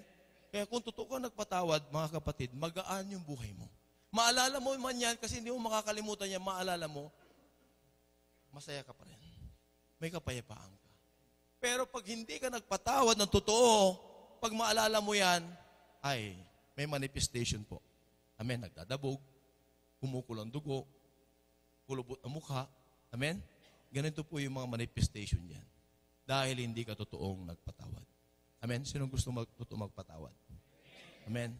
Ito po yung nais ng Lord sa buhay natin. Bakit, mga kapatid? Bakit? Kasi sabi ng Psalm 66 verse 18, kung mayroon kang inaalagang kasalanan sa buhay mo, hindi ka, meaning to say mga kapatid, hindi ka talaga totoo nagpatawad, hindi ka pakikinggan ng Diyos. Amen? At isa pa mga kapatid, napaka-epektibo yan, yung Revelation 2.5. Amen? Revelation 2.5. Remember where you have fallen. Remember where you have sinned against God. Amen? Repent. Forgive them. Amen? Aspire to God. One by one. Otherwise, the Lord said, I will remove the lampstand. Amen? Meaning to say, the lampstand, mga kapatid, yung bunga, yung ilaw, tatanggalin ng Lord sa buhay natin. Amen? Dati kang nabago na, lumalakad ka na, mabait ka na, ah, masunurin ka na, dahil sa pag-aalaga mo ng kasalanan, mga kapatid, yan, bumabalik ka na naman sa dati mong luma. Amen? Dati na nga, luma pa. Amen? Ayon. Kaya makikita sa'yo, o dati masiyahin niya ngayon na naman. Kasi naalala na naman niya kanyang nakaraan. Amen? Tayo mga kapatid, tunay na kristyano, inapurba ng Lord. Pag naalala mo yung nakaraan mo, salamat Lord. May kapayapaan ka. Amen? Sapagkat mayroon kang totoong Heso Kristo sa buhay mo. At ito yung pangako ng Lord. In me you will have peace, sabi ng Lord. Amen? Sa John 16.31. Amen? Sino may Lord Lord sa buhay niya? Hindi may kapayapaan ka. Marunong ka magpatawad kagaya ng Lord. Amen? Ito lamang ang susi mga kapatid para tayo po ay maging malinis sa harapan ng Panginoon. Amen? Dahil ito po yung mensahe ng Panginoon sa krus na siya nagpatawad dahil ito yung pag-ibig niya sa buhay natin. So pag tayo nagpapatawad mga kapatid, marunong din tayong umibig. Amen? Dahil mahal natin siya, patatawarin natin siya. Amen? Well, kung hindi mo gagawin yan ayon kay Lord, then ikaw din ang mahihirapan. Amen? Then, ang sabi ng Lord, malulungkot yung banal na Espiritu sa atin pag hindi mo ginagawa yan. Amen? Nais ang Panginoon, mga kapatid, whenever, mga kapatid, na maalala mo yung nakaraan mo, masakit man yan, Kuya Eddie. Pero ngayon, salamat kay Lord. Masaya ka pa rin kay Lord. Amen? Ito na po yung nais ng Lord, mga kapatid, sa buhay natin. Okay? Glory to God. Uh, thank you for giving me another five minutes. Amen? Let's all stand. Amen? Sa taong ito ay nais natin na umpisahan sapagkat inumpisan tayo ng Panginoon. Amen? Inumpisan tayo ng Panginoon and we, we will always yield before the Lord. Amen? We will always come to the Lord with humility and submission. Amen? Na Lord, inaamin mo lagi na wala kang kaya. Inaamin mo lagi na kung wala siya sa buhay mo, wala kang magagawa. Amen? Ito'y pangako ng Panginoon sa buhay natin, mga kapatid. Amen? We have come to the Lord and bow down before Him. Always, ugaliin po natin, mga kapatid, na lumapit sa Panginoon na may kababaan ng loob. We have come down and bow down before Him. Lagi tayong lumapit sa Kanya. Ayaan nating hilingin sa Panginoon, Lord, Turuan mo kong sumunod sa iyo. Turuan mo kong iyak ko mga Lord, yung salita mo na itinuro mo sa akin that I will become an obedient to your word para Lord makita ko yung pagbabago na ginagawa mo sa buhay ko. Amen? Unless mga kapatid, na hindi tayo nag-act upon the word of God, what we receive from the Lord, we will never change. Gaano mo mo nagbabasa ng Biblia, gaano ka man nakakarinig ng salita ng Diyos, pag hindi ka susunod sa salita ng Diyos, transformation will not take place in our life. Never. There will be no change at all.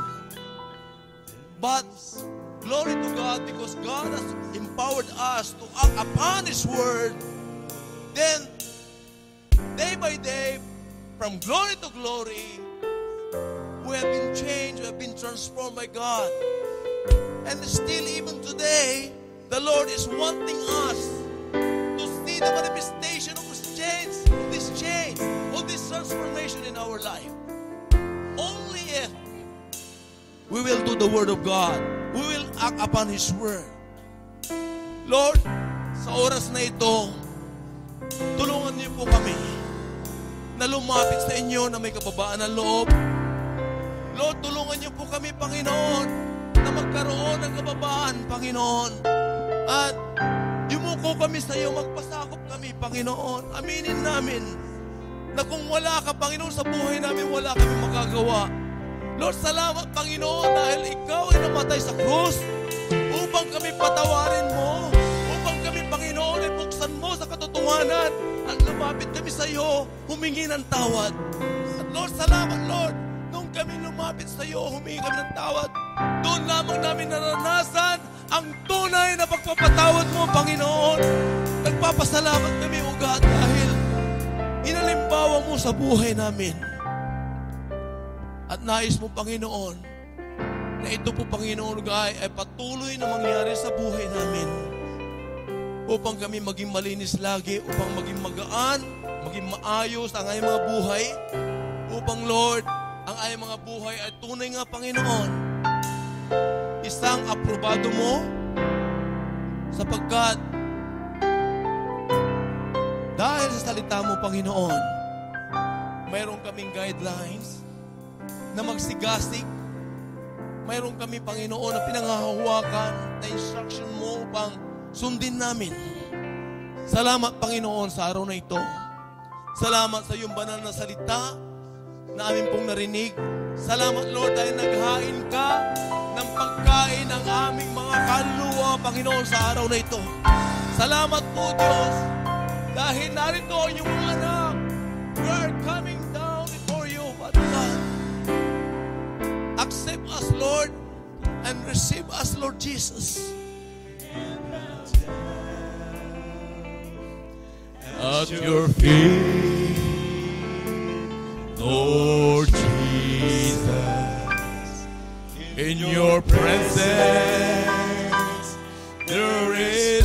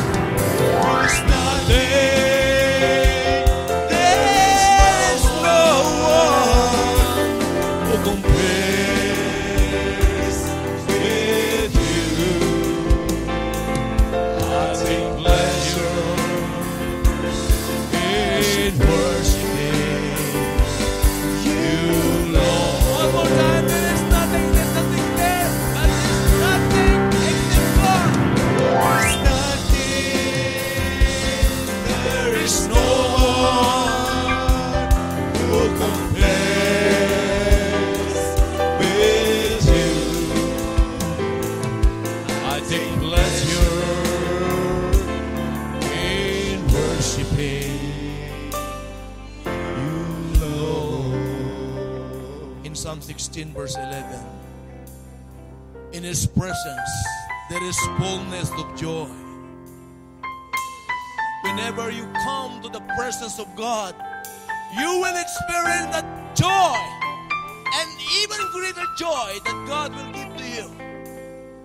You will experience it. And at the time that you experience that, it is start of a new life. At the start of change. A start of transformation. Only in the presence of God. Lord, teach us. Turuan mo kami, Panginoon. Na patuloy namin, Panginoon God, na i-desire, i-asam sa buhay namin, Panginoon, na ikaw lagi, Panginoon, ay maranasan namin sa aming buhay. Sa lahat ng bagay, Panginoon, kaya mo, O Diyos, na kayo ang ay matangkilik. Kayo ang mauna sa buhay namin. Lord, you have said, O God, in Matthew 20, verse 15, ano yung mga ginagawa namin para sa Lord na maganda? It is not because ito yung alam nating tama at maganda kay Lord.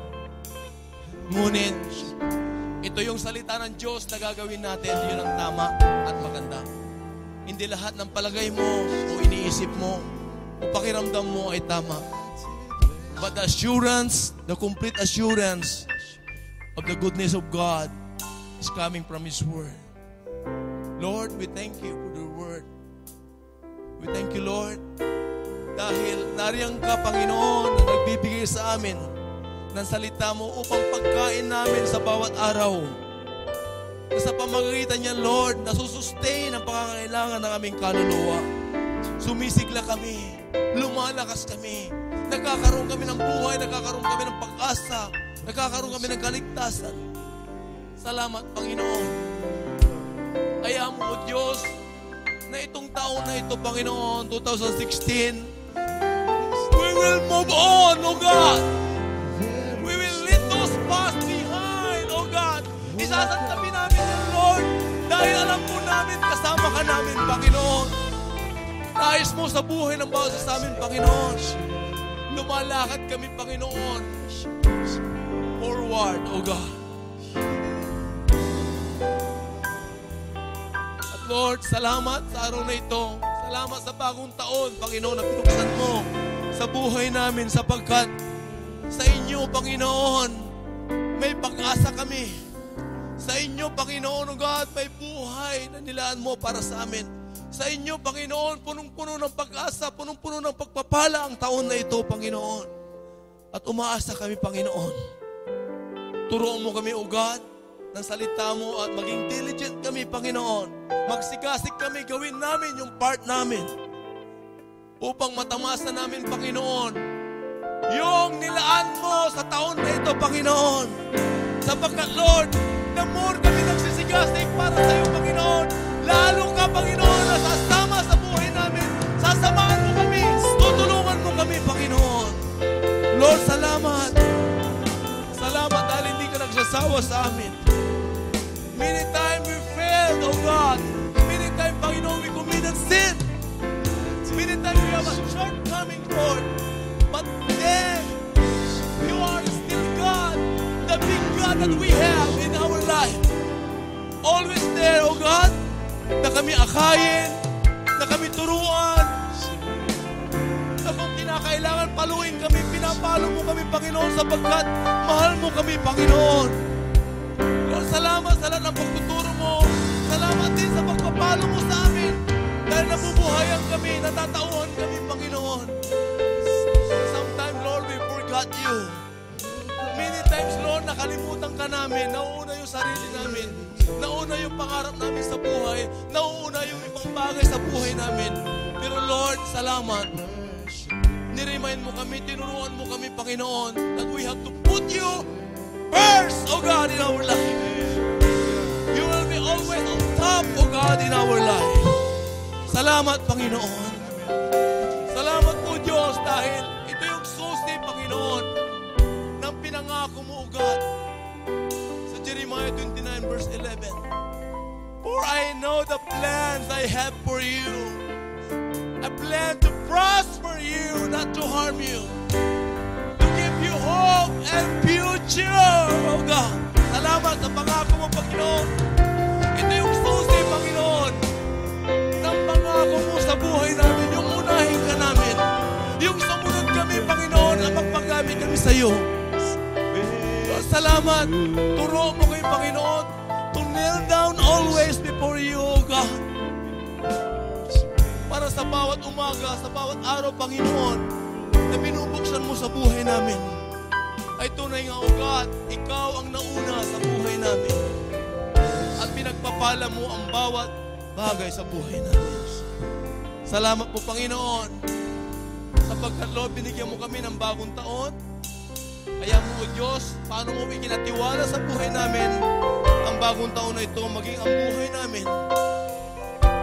We pray, O God, na maibalik namin sa iyo lahat ng papuri, lahat ng pagluwalhati, lahat po, Panginoon, ng pasasalamat sa pangalan mo. Panginoon, salamat sapagkat hindi ka, Panginoon, napapagod sa buhay namin.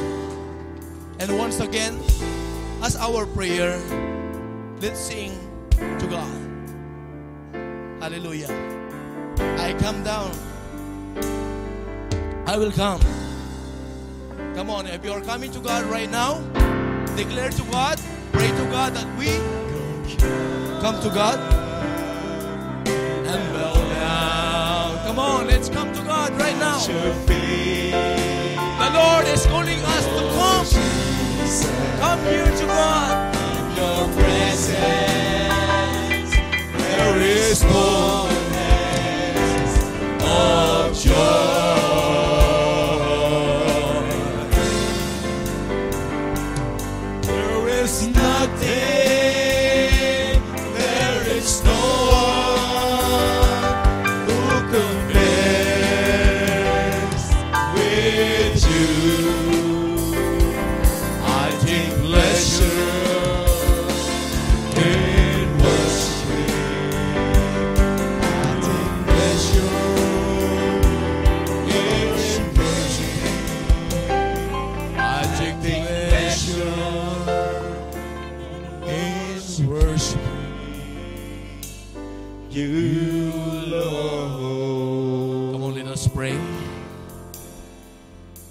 Continue to close our eyes and believe that Jesus is here right now with the power of His Spirit.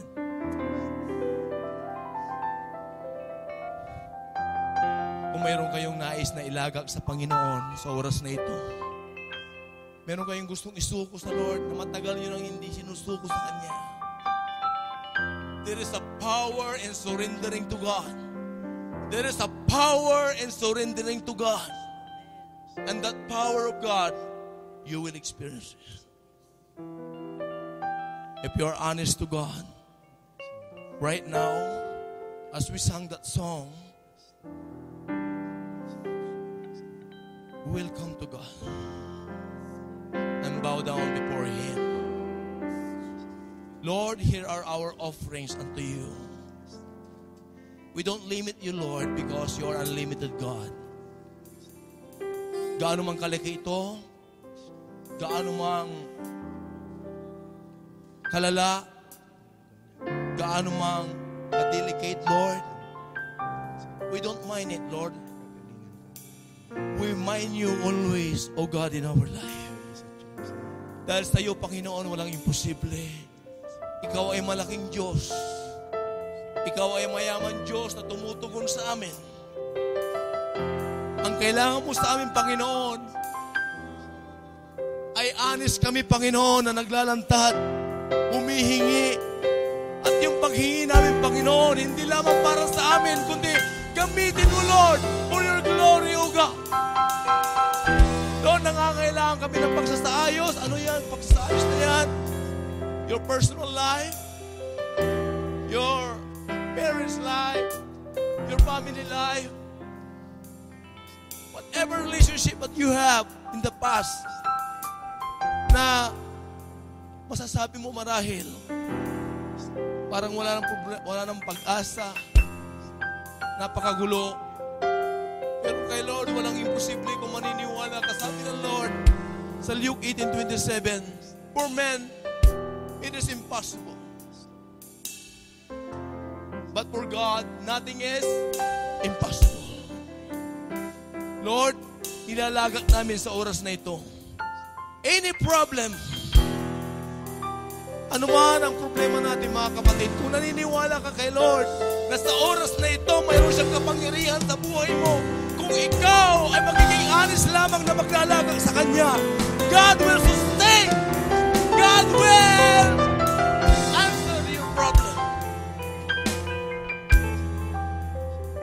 Lord, we are bringing all of this to you with humbleness, Lord, with submission, O God. Bless the life of my brothers and sisters. Pagpalain niyo, Lord, ang kanilang mga buhay. Uumpisan namin, Panginoon, ang taon na ito as you have started our life and as you have opened this year for us. Lord, kami, O God, ay susunod sa iyo. Hindi namin iisipin, Lord, kung ano man ang bagay yan, Panginoon.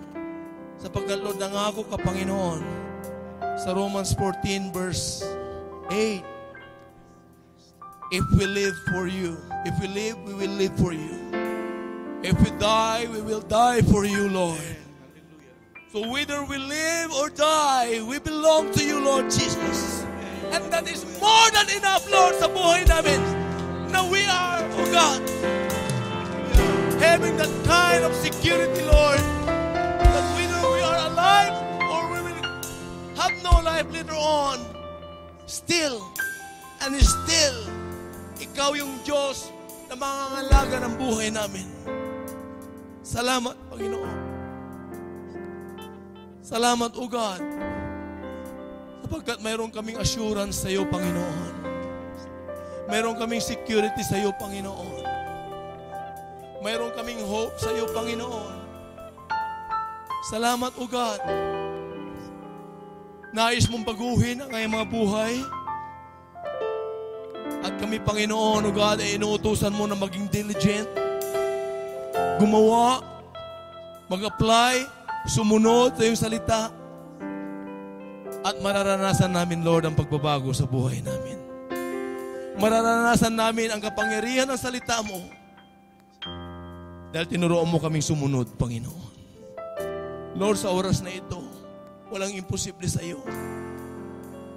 Nais mong ayusin ang buhay namin, Lord. Salamat sa iyong pagmamahal sa buhay namin. You are much concerned about our life, Lord. Sapagkat, Lord, kami pa, Panginoon, yung mga anak mo. Ayaw mo, Panginoon, yung mga buhay namin, Panginoon, ay mapawindang-windang, O God. Nais mo, Panginoon, God, ang mga anak mo ay sumusunod sa iyo. Lord, nilalagak namin ang bawat bagay sa buhay namin, O God. And we entrust you, Lord. And we believe, O God, nothing is impossible with you, Lord. Hallelujah. Tutugon ka, Panginoon, sapagkat kami rin, Panginoon, ay magiging diligent. Magsisikasik din kami. Gagawa din kami, Panginoon, ng part namin. Lord, salamat sa bawat kapatid na nagtiwala sa iyo sa oras na ito.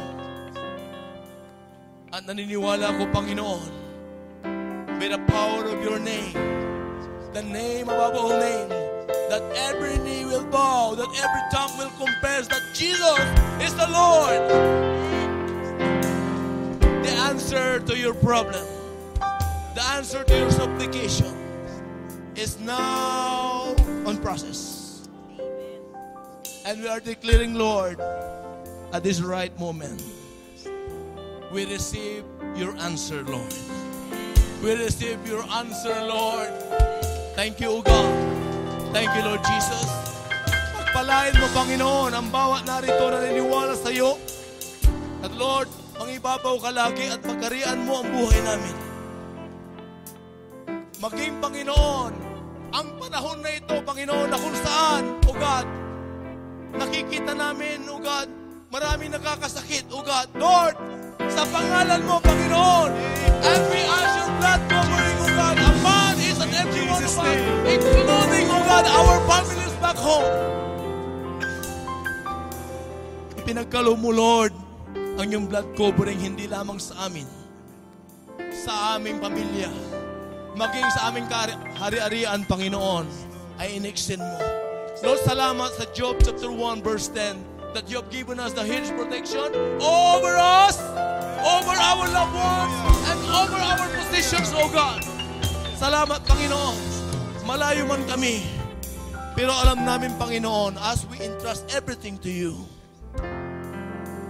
nasa pangangalaga mo sila, Panginoon. Kaya Lord, salamat. Salamat, Lord. Binigyan mo kami ng pananampalataya upang pagkatiwalaan ka namin sa aming buhay. At Lord, salamat dahil mayroon kang buhay na ikinatiwala sa amin.